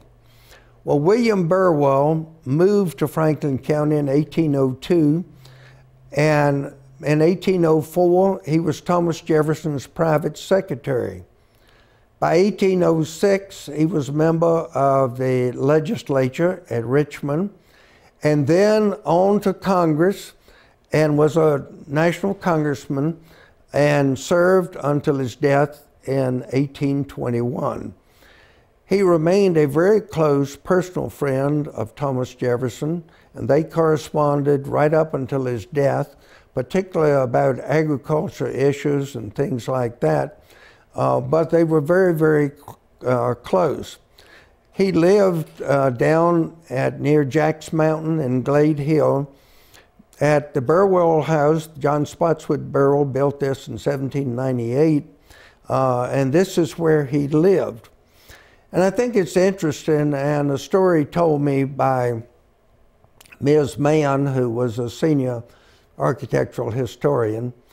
Um, he um, said, um, she, she, told me that she met this old gentleman that was a direct descendant, and he told this story that um, William Burwell here had a good library. Apparently, same in common with the love of books that Thomas Jefferson had. And in this, he had a first folio book of Shakespeare's works. And that's a very famous book printed in 1623, seven years after Shakespeare died, of Shakespeare's work. This was a extremely large uh, volume. And at any rate, this passed to his son, that built Avenel in Bedford County and then on down to descendants. And along the way, it was sold to the British Library uh, and was sold to use the money for one of the descendants to go to medical school. Well, uh, this old fellow had remembered the Bible from being in the family, and so in his travels, he went by the library and he asked to see the, uh, the book. And the curator discussed with him that he would get the book, but said, Yeah, you must be uh, mistaken here. These were very, very valuable books from the time they were uh, published and were only in the very richest or in universities or whatever. And I think there were something like 250 published, um, and nowadays there are only like 235 known. But at any rate, he explained that they were very, very valuable, that he doubted it was in his ancestors' hands. So he went and got the book and he brought it. And so this old gentleman told him, he said, I want you to turn to so and so page. He said, when I was a youngster, I was eating a jelly biscuit and I dropped jelly on the bottom of the page.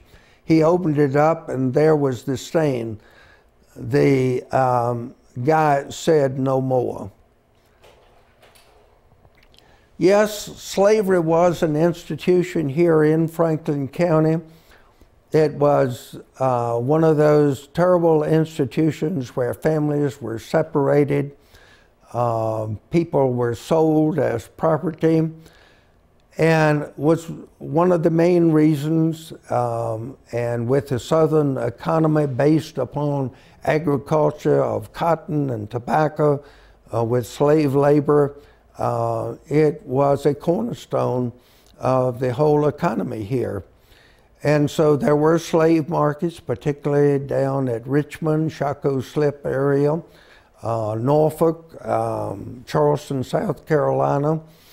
And um, James Smith, an old gentleman I knew, he told me about um, Judy Dudley, who lived to be 106 years old, that lived down right across from the old Dudley School. And she uh, had been a midwife uh, for the area for many, many years. But she had told him that she walked with her mom from Georgia with Trading Tom Dudley, who lived in that area and was a slave trader. But uh, he took a group from Georgia and walked back here and she was a little girl at that time. Interestingly, there were all kinds of uh, ways. Uh, many of the local people tried to keep the families together. Now, in the 1830s, Nellie Green was a free black, and she bought her husband and then passed him on to four of her seven children when she died in 1834 so that they could keep the family together.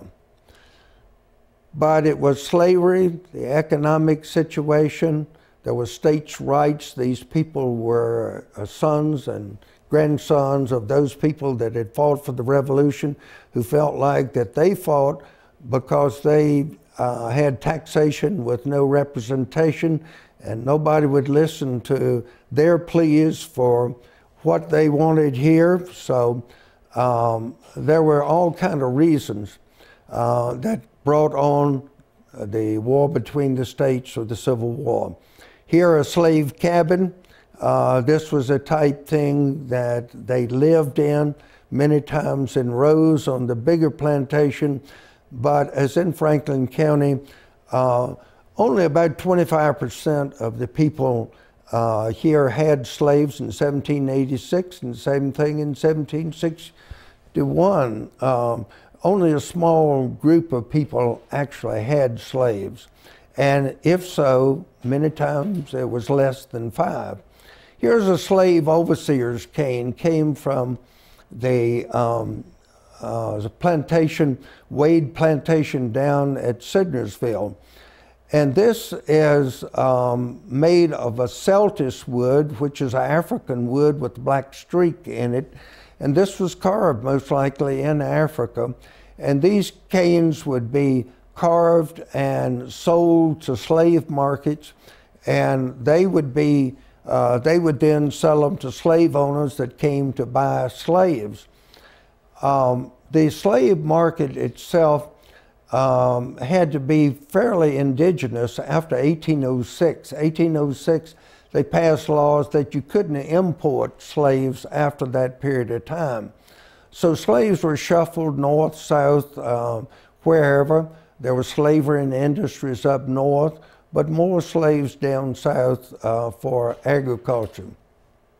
Well, the Civil War broke out with whatever the issues were, and this young uh, Arrington youth from here in Franklin County is all ready for the war. As you can see, and you can't see, he's holding a bowie knife here. He has a sword here, two Colt pistols here, and a carbine here. So he's all ready to fight the war, maybe single handedly. But at any rate, the most famous battle and best known battle of the Civil War was the Battle of Gettysburg. And Franklin County soldiers were in the forefront in that. Here you can see the third day at Gettysburg, July 3rd, 1863. Cushing's guns were just back of this stone wall here. The troops under Armistead in front here, uh, and right in front of this, uh, they were proceeding and to take on the Yankees behind this wall.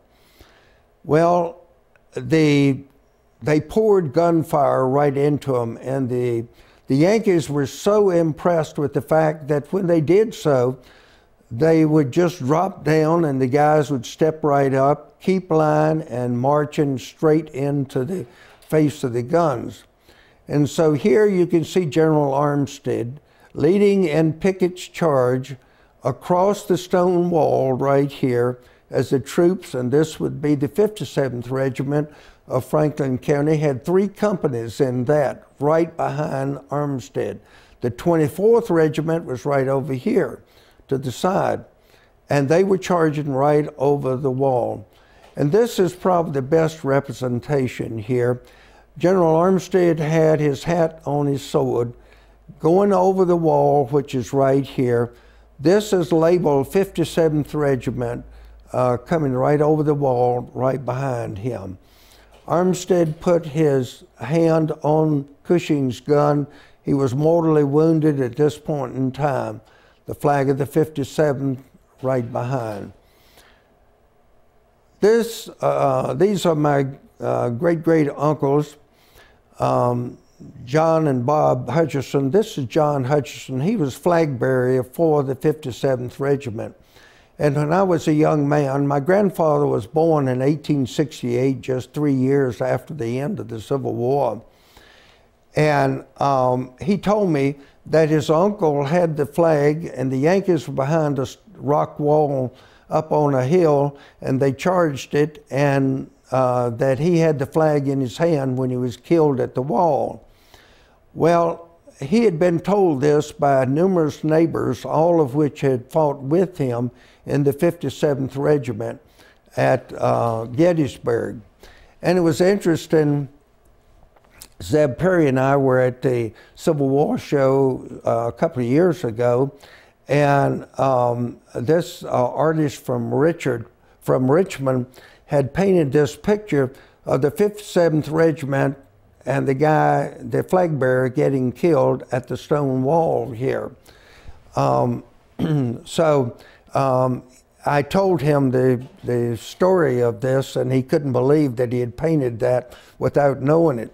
But that flag was picked up and carried to the high water mark, the 57th Regiment uh, at Gettysburg. Out of 12,500 soldiers, that started that charge, about 150 made it over the stone wall to the high water mark at Gettysburg. There's now a marker of the high water mark at Gettysburg. From this point on, the tides of war went downhill, and uh, it was uh, downhill for the rest of the war. This really was the high tide of the Confederacy. Franklin County's most famous uh, soldier and general was General Jubal Early. General Early was an interesting character. He was uh, a real fighting man's uh, soldier, uh, afraid of nothing, and um, was very forthright. Um, he was a heavy drinker. Um, he was a even heavier cusser and was General Lee called him his bad old man because he was the only man that would cuss in front of, Jubal, of uh, General Lee. But General Lee really liked him because he was so good as a soldier. And uh, so Jubal uh, was born and raised here in Franklin County. This is the early homestead over near Windy Gap Mountain. This is Early's Mountain here as part of the Windy Gap uh, mountain state. Uh, the old office to the plantation here. The house has been fully restored, 1814. Jubal Early was born in 1816. He um, was raised here. He was the Commonwealth's attorney for Franklin and Floyd County in the 1840s. Um, and he lived in a, a, hotel in Rocky Mount there for a period of time. He met a young gal that was working there named Julia McNeely, and uh, she became his mistress. And so out on Trail Drive, he bought a tract of land and had a log cabin which he kept her in. He had four children by her, and uh, they were raised then he was off to war, and after the war was in Canada for a period of time. But um, she remarried, and he did give his name early to the four his four kids uh, in the 1870s. Well, um, these some of the early family have come back and had reunions here in the county. And I spoke to them um, on several occasions. And um, I told them they were the nicest bunch of bastards I'd ever talked to. Um, but they enjoyed their visit here. Jubal Early was a soldier's soldier, uh, and he had quite the reputation. He has he um, went the furthest north came the closest to capturing Washington of anyone. And with a force of only about 14,000, he tied up 40,000 uh, Yankee troops, which took the pressure off, early, uh, off uh, General Lee uh, down in Richmond and Petersburg. And in effect, he prolonged the war by six months by doing so. Jubal Early um, has a all-time record that is the record for the annals of American warfare. He marched his troops 1,500 miles in four months and was engaged in 75 skirmishes and major battles. And that is a record that no one has come close in any theater uh, of war. Now, there are multiple books written about him. After the war, he did with the pen what he couldn't do with the sword. He um, was the um, editor of the uh, Southern Historical Society. He wrote uh, lots of articles, cleared up a lot of misgivings about the war, particularly published by Yankee generals, used facts and figures to prove his point. And much of what we read about today is due to the accuracy that he enforced after the war. He was a leading cause of the lost cause movement. He was um, early uh, was the person that almost canonized uh, um, Robert E. Lee. He um, he proposed him as being the great Southern gentleman uh, that he really was.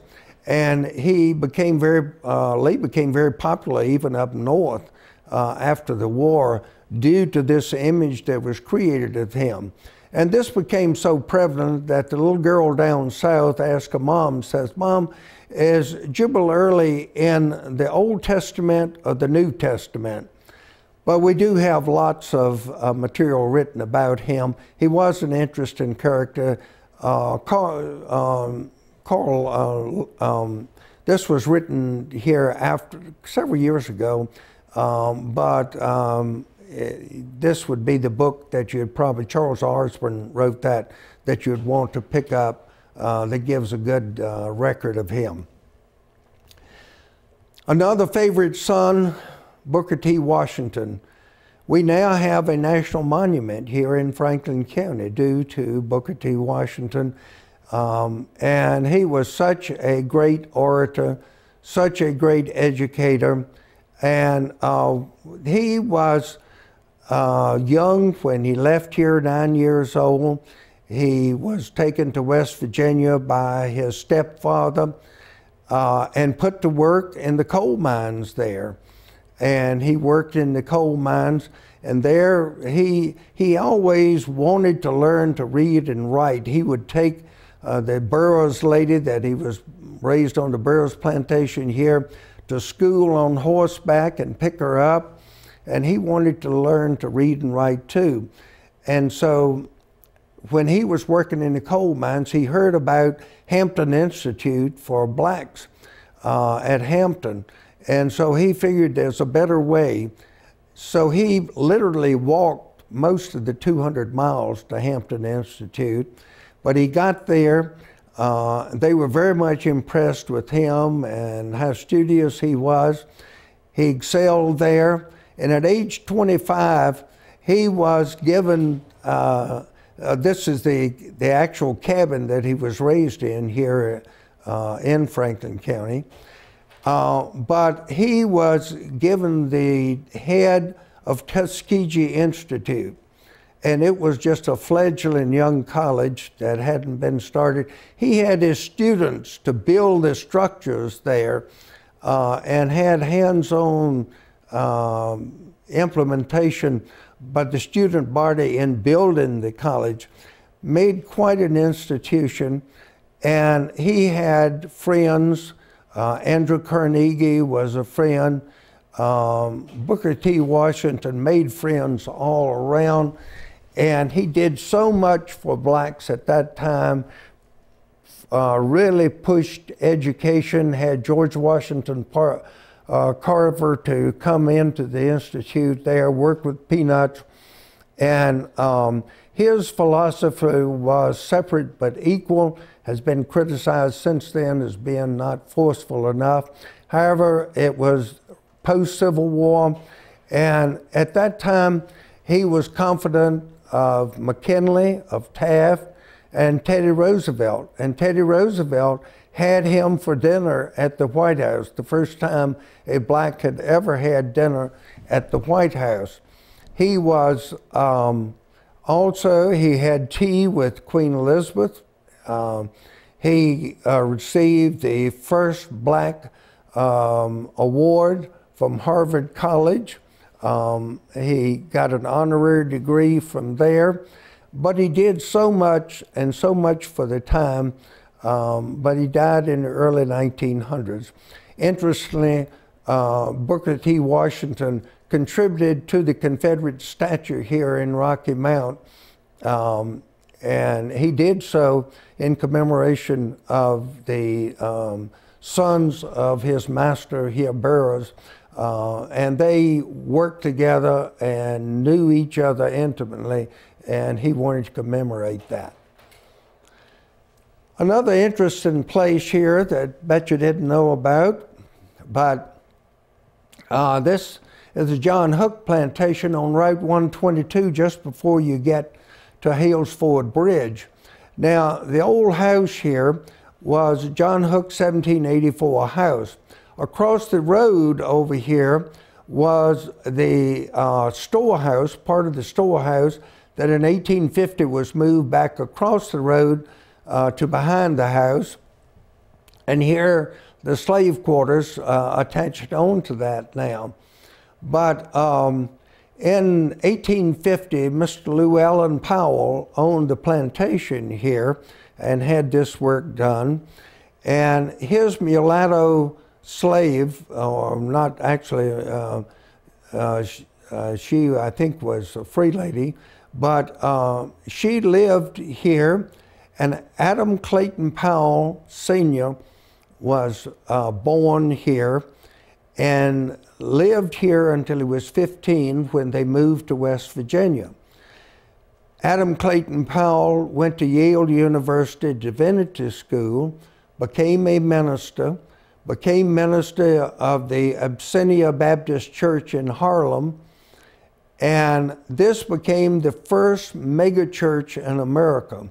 14,000, uh, congregation of 14,000 in Harlem. Well, he, in 18, uh, 1908, he became um, the pastor of this church and was there for many years. He uh, was very big in human rights, uh, social equality, social justice, and uh, this very much impressed a young German scholar that was in theology school in New York. And so he came over, started going to the church, then started teaching Sunday school there.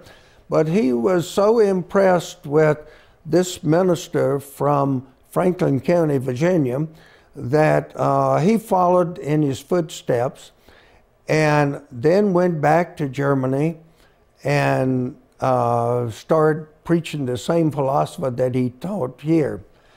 That person was none other than Dietrich Bonhoeffer, that you've probably heard about him in church. Dietrich Bonhoeffer was one of the major theologians of the day. He went back, he opposed Adolf Hitler, and uh, he wrote uh, a great deal, and particularly the role of uh, Christians in a secular world and things of this nature. Uh, and he was hung by Adolf Hitler in uh, 1945, just before the end of the war. But here was a guy with that is known worldwide that was majorly influenced by a person born and raised in Franklin County.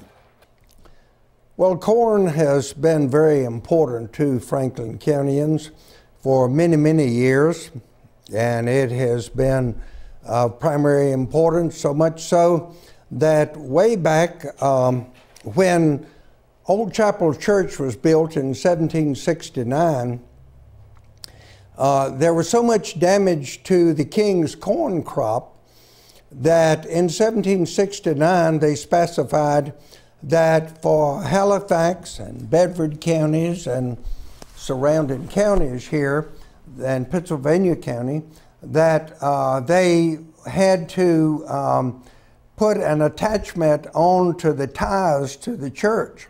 Now, everybody had to pay tithes to the Church of England church, whether you were a Baptist or anything else.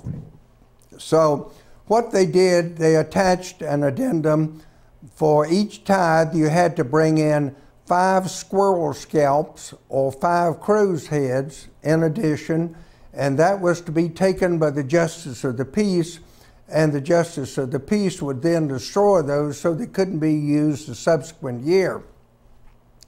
Well, Franklin Countyans have always known what to do with corn. And um, probably what you didn't know was the immense uh, operation of moonshining in Franklin County.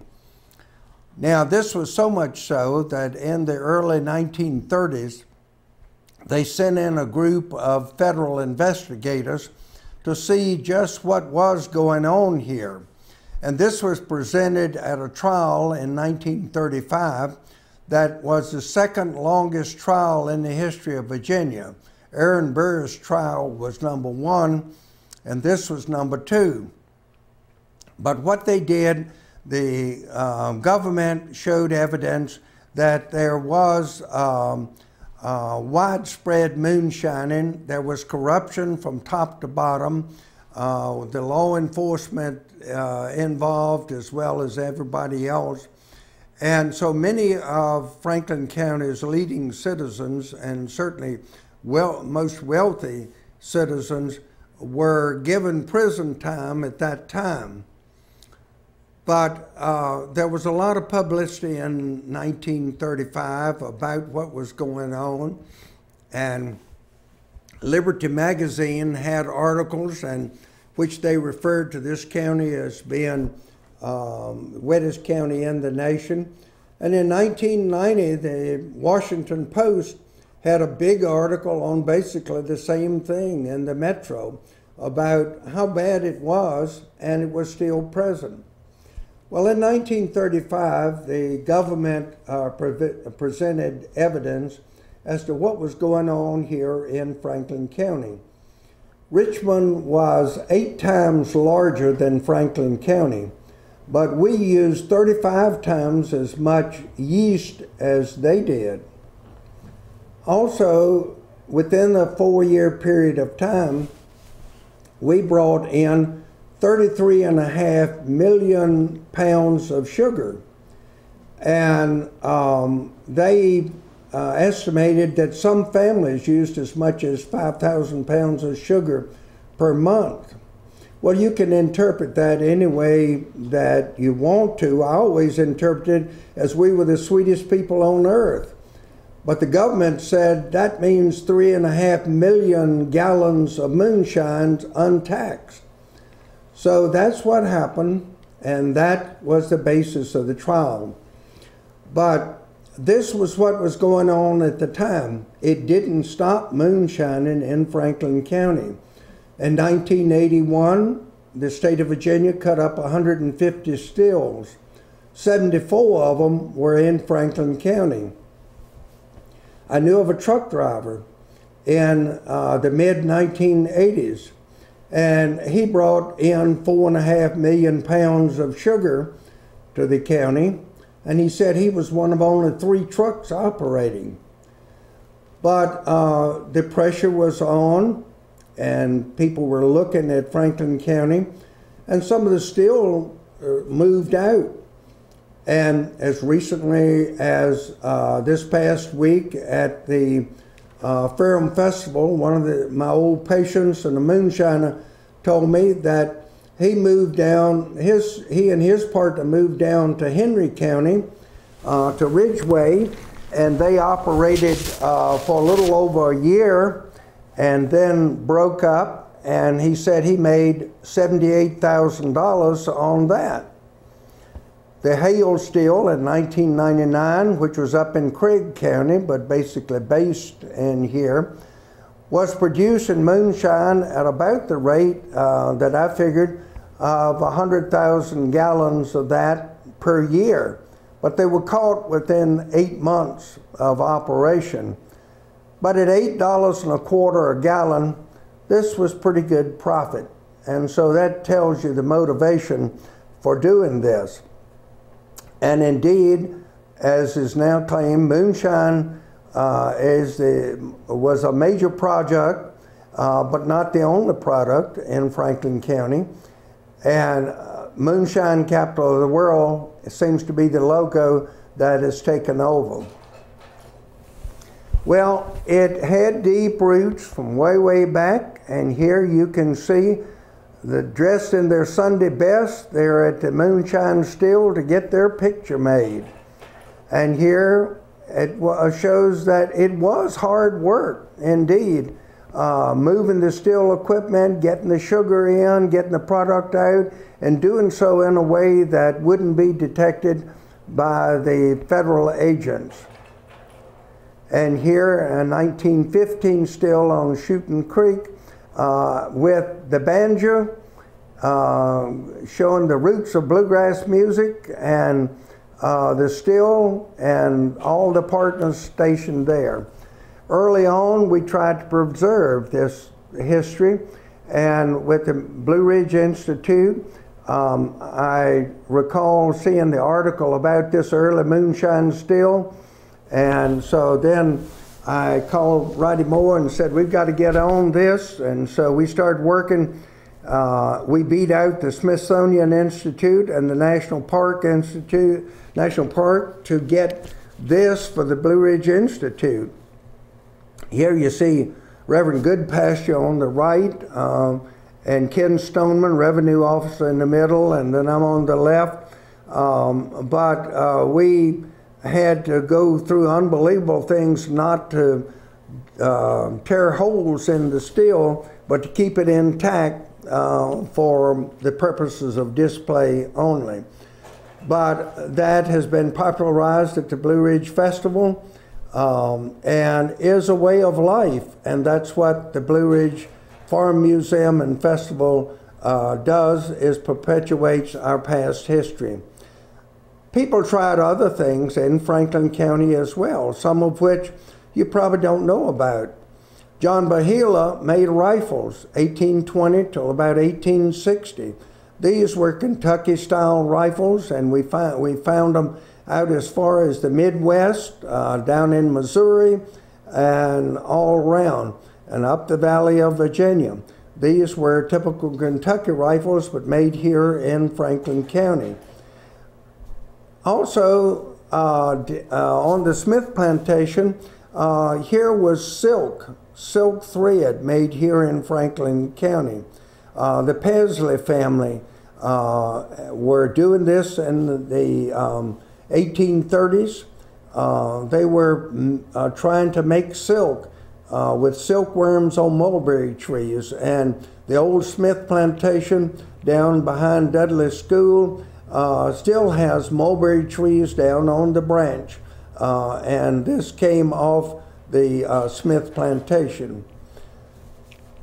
Uh, tobacco, uh, apple uh, was a big crop here in the 1920s, but it originated back before the Civil War.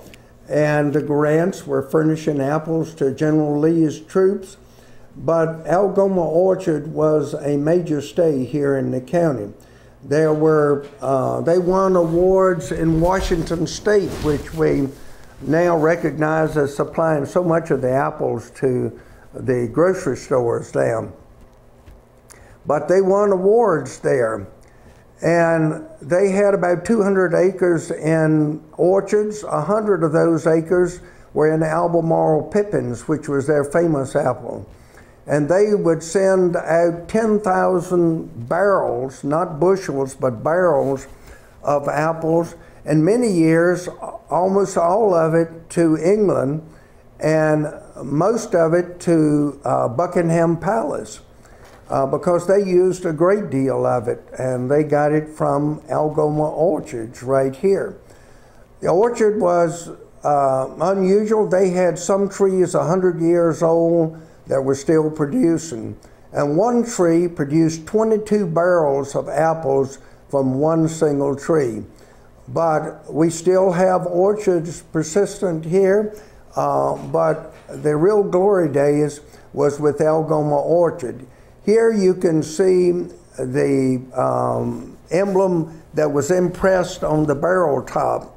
Um, this is the stamp that was heated up and stamped on top you see the AL uh, for Algoma. Well, bet you didn't know, but um, I mentioned Robert Hill uh, had a son that was killed by a mountain lion on Scuffling Hill. Bet you didn't know that we still have mountain lions here in Franklin County. So my partner um, here, um, Zeb Perry, and I were hunting this previous uh, spring, we were turkey hunting. He killed two turkeys. But at 6.30 in the morning, we were sitting in the blind calling turkeys when all of a sudden we heard this, wow!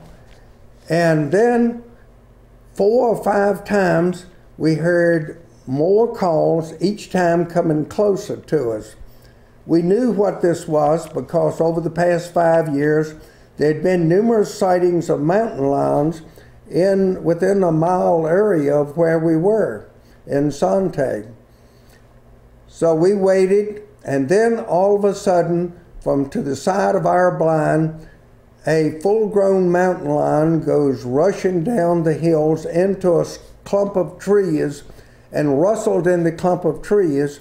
We sure got the turkey we were trying to call in, um, but we didn't go down and provide dessert for him. Um, but uh, this went right in front of Zeb, sitting there uh, with only a double barrel shotgun. Um, and we were happy that he found the real turkey and not us that he started out looking for. But yes, they're there. The local game wardens will tell you that they've been extinct and since in Virginia since 1887 uh, and that they're not here. But uh, the sportsmen and the farmers have seen them on game cameras, they've seen them live, they are here, and Zeb will tell you that they're here. The face of Franklin County changed in the 1960s when the Staunton River was impounded at the pass in Smith Mountain, and Smith Mountain Lake was started. Uh, and this changed greatly the entire county. As soon as this started and the lake started filling up, and here you can see that the lake is uh, beginning to impound, and already building was starting, and it continued to accumulate here. And you wonder, how did all the people know about or get attracted to Smith Mountain Lake? Well, there are all kind of theories. My theory is that young farm boys learned long ago that after a long morning of working out in crops, at noontime they would come home and dad and they would eat lunch and then dad would take a short siesta in the heat of the day before going back to work and at that time the farm boys would get together and go to the creek and um, had great fun skinny dipping in the creek and just enjoying the water. Well, it took a while for this to catch on up north, but they soon learned that it really was a lot of fun playing in and on the water. And so they started coming, and as they came, they told their friends, and they started coming, and it was a mushroom effect here. And then, of course, with all the people coming in, we had uh, to have accommodations for that. And so what uh, happened here was we had a local entrepreneur that was a uh, farm boy raised on a tobacco farm.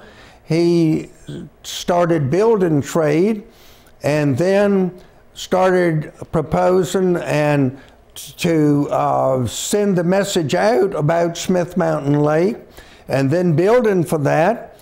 And you know, a magician can produce a rabbit right out of a hat. But Ron Willard did one better than that. He brought a town out of a cow pasture. Now that's a real magician, but he has been a magician for the lake. A local person who was a person, an entrepreneur, uh, that took advantage of the situation, an opportunity presented itself, and he capitalized on that. But we have people that have roots way back. Um, Lyndon Johnson, uh, Lyndon Bain Johnson's, Baines family, I understand, was from down in the um, Figsboro area of Franklin County. Um, but we have lots of people that have deep roots here that have made a difference in America. And here at our Franklin County Bicentennial in 1986, we have Jon McBride. Now he's standing with a Virginia Conestoga wagon that uh, dates to the early 1800s. Jon McBride was pilot of the Challenger in 1984 and carried up Sally Ride uh, and the first seven man crew. That's quite a difference in transportation that we're looking at. But Jon has his own version of changes in transportation. You see, his dad was raised here in Franklin County and drove a horse and buggy here in Franklin County.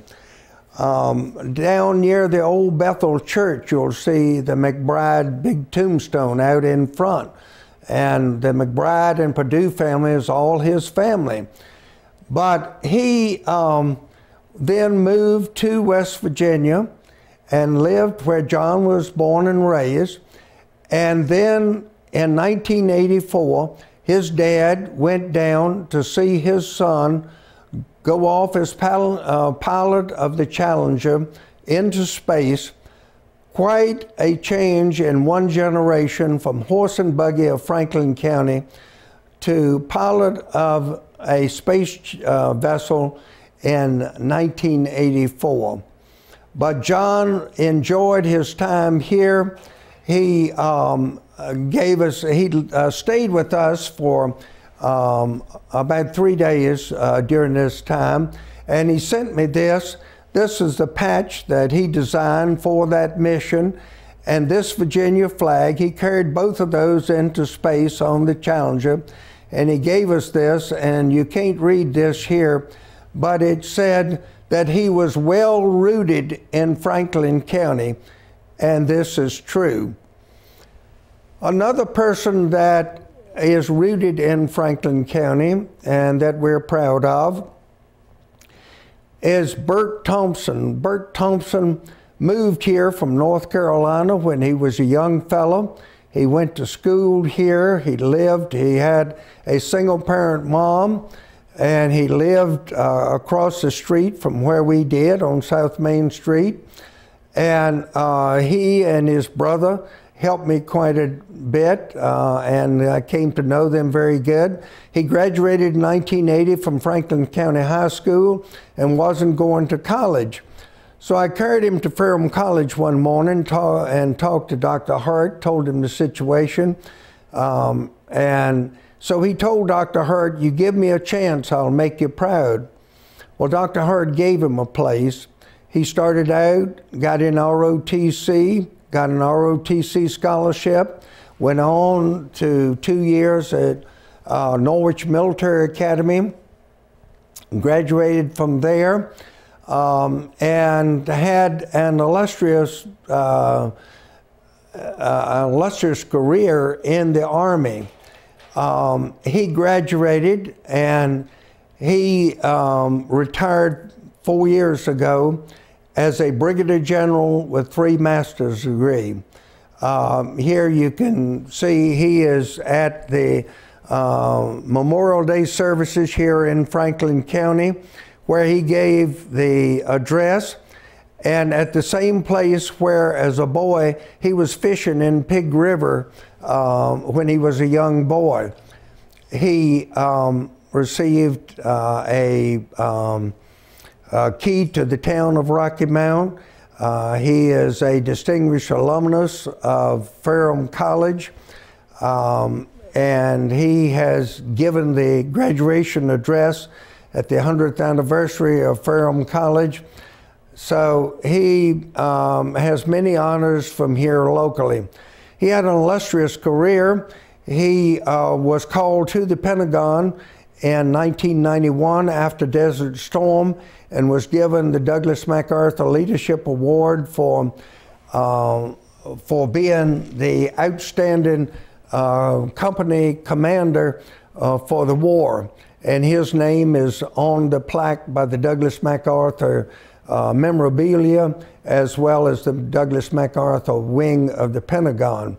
He was deputy director for the U.S. Military Command Center at the Pentagon, uh, and that's the most important office. All the information of the world goes into that. Every order for every branch of the military comes out of that. And so this is um, a prime important uh, office at the lowest level of the Pentagon and the most protected one.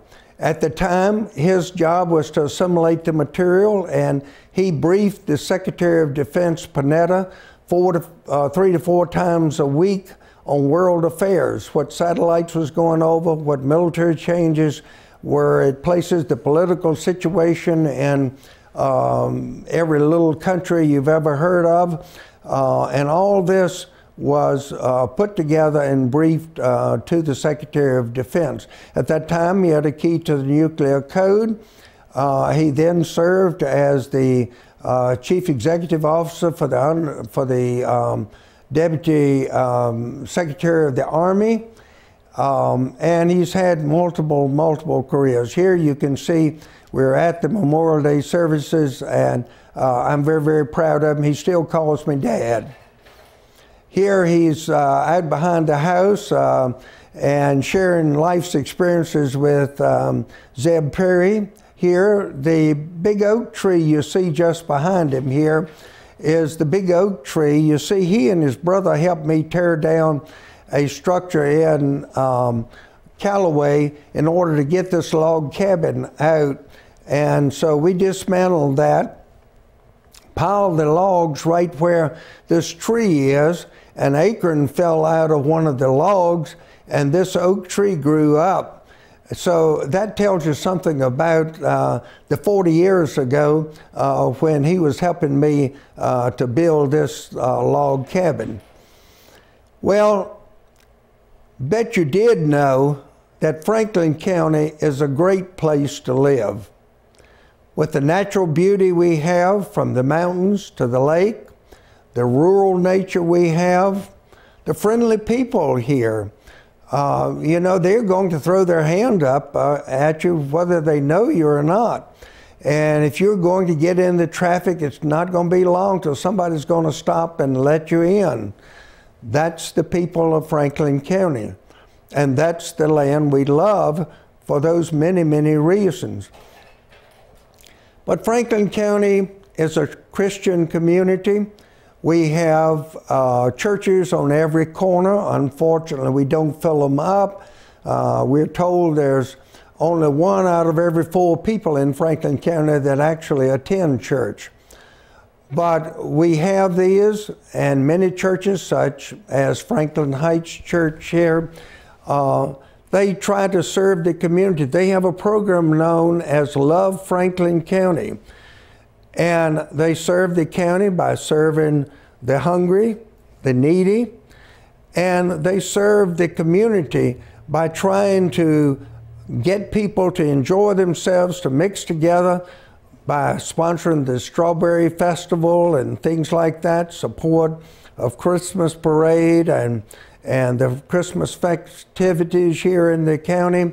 So this is all an outreach of the program, not only outreaching to share the gospel with anybody and everybody, and two, uh, there are three locations at Cross Point, at, at um, Chimney, and Union Hall and Rocky Mount, but also reaching out to the world uh, with mission uh, churches in uh, Boston and in Iceland, and mission trips to other land, to uh, Africa and other places. So yes, we're reaching out and we're expanding above Franklin County, but we love Franklin County and we love to promote Franklin County. Yes, this is a place that hadn't forgot its history, and this is Franklin County History Museum and Franklin County History Headquarters on South Main Street. And here you see we pay tribute to the Crooked Road, the musical traditions of this county, the museum that we have. Also, the Blue Ridge Institute that is doing much. Here, the governor of Virginia is meeting um, with Roddy Moore and others proclaiming this to be the folk life center of Virginia, uh, preserving the history and the heritage that we all enjoy. There are places and people that are writing about us. And here, Ann Smart Martin in Michigan wrote about buying into the world of goods. I mentioned the John Hook store.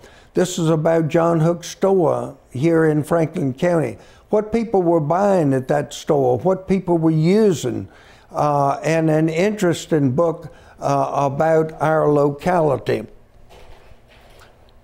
Yes, we do celebrate the history, and here, our bicentennial, we had a year long period of festivities, of activities, and the bicentennial ball. And then culminating that was the history of Franklin County, which we had published.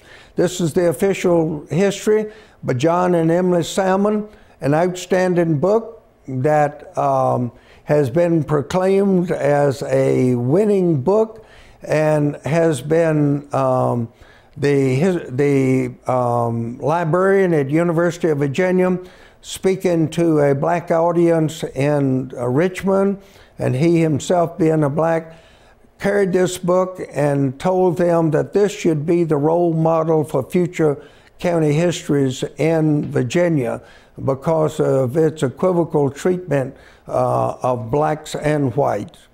But it is a prize winning book. As you can see, Franklin County's two most famous uh, sons, Booker T. Washington and Jubal Early, with the painting of uh, justice in the center. This was painted for the, 19, uh, the 1830 courthouse in Franklin County and hangs over the judge's chamber in the courthouse today.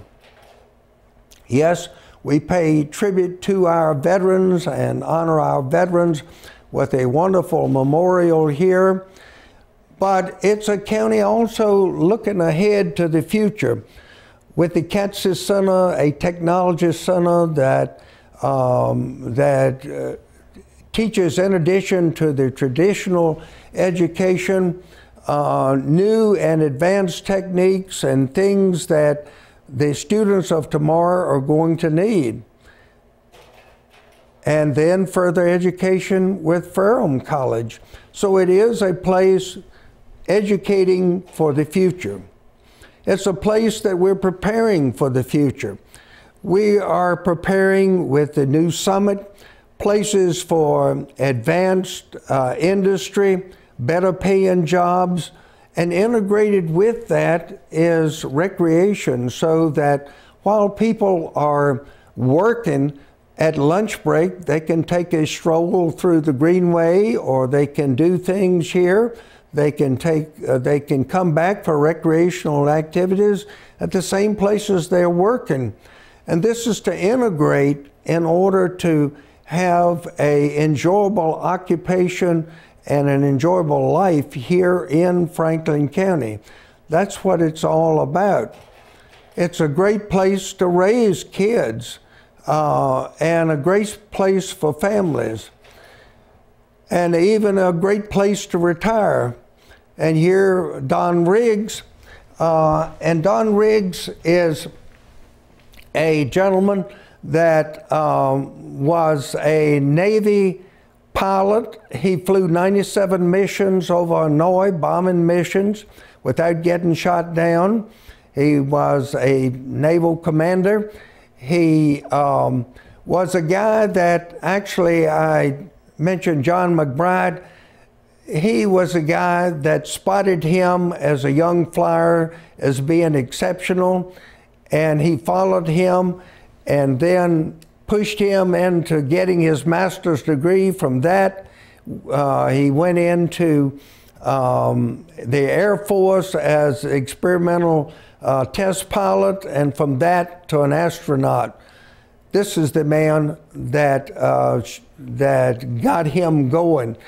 And interestingly, after retiring in Northern Virginia, and he his hobby was woodworking and he had a woodworking friend here in Franklin County. He visited, he liked Franklin County, he moved back here, and has had a wonderful future here, a wonderful retirement of gardening and woodworking. And here you can see he's made a turkey collar for Zeb, and he uh, receives the appreciation from this young fellow in a manner that money couldn't buy.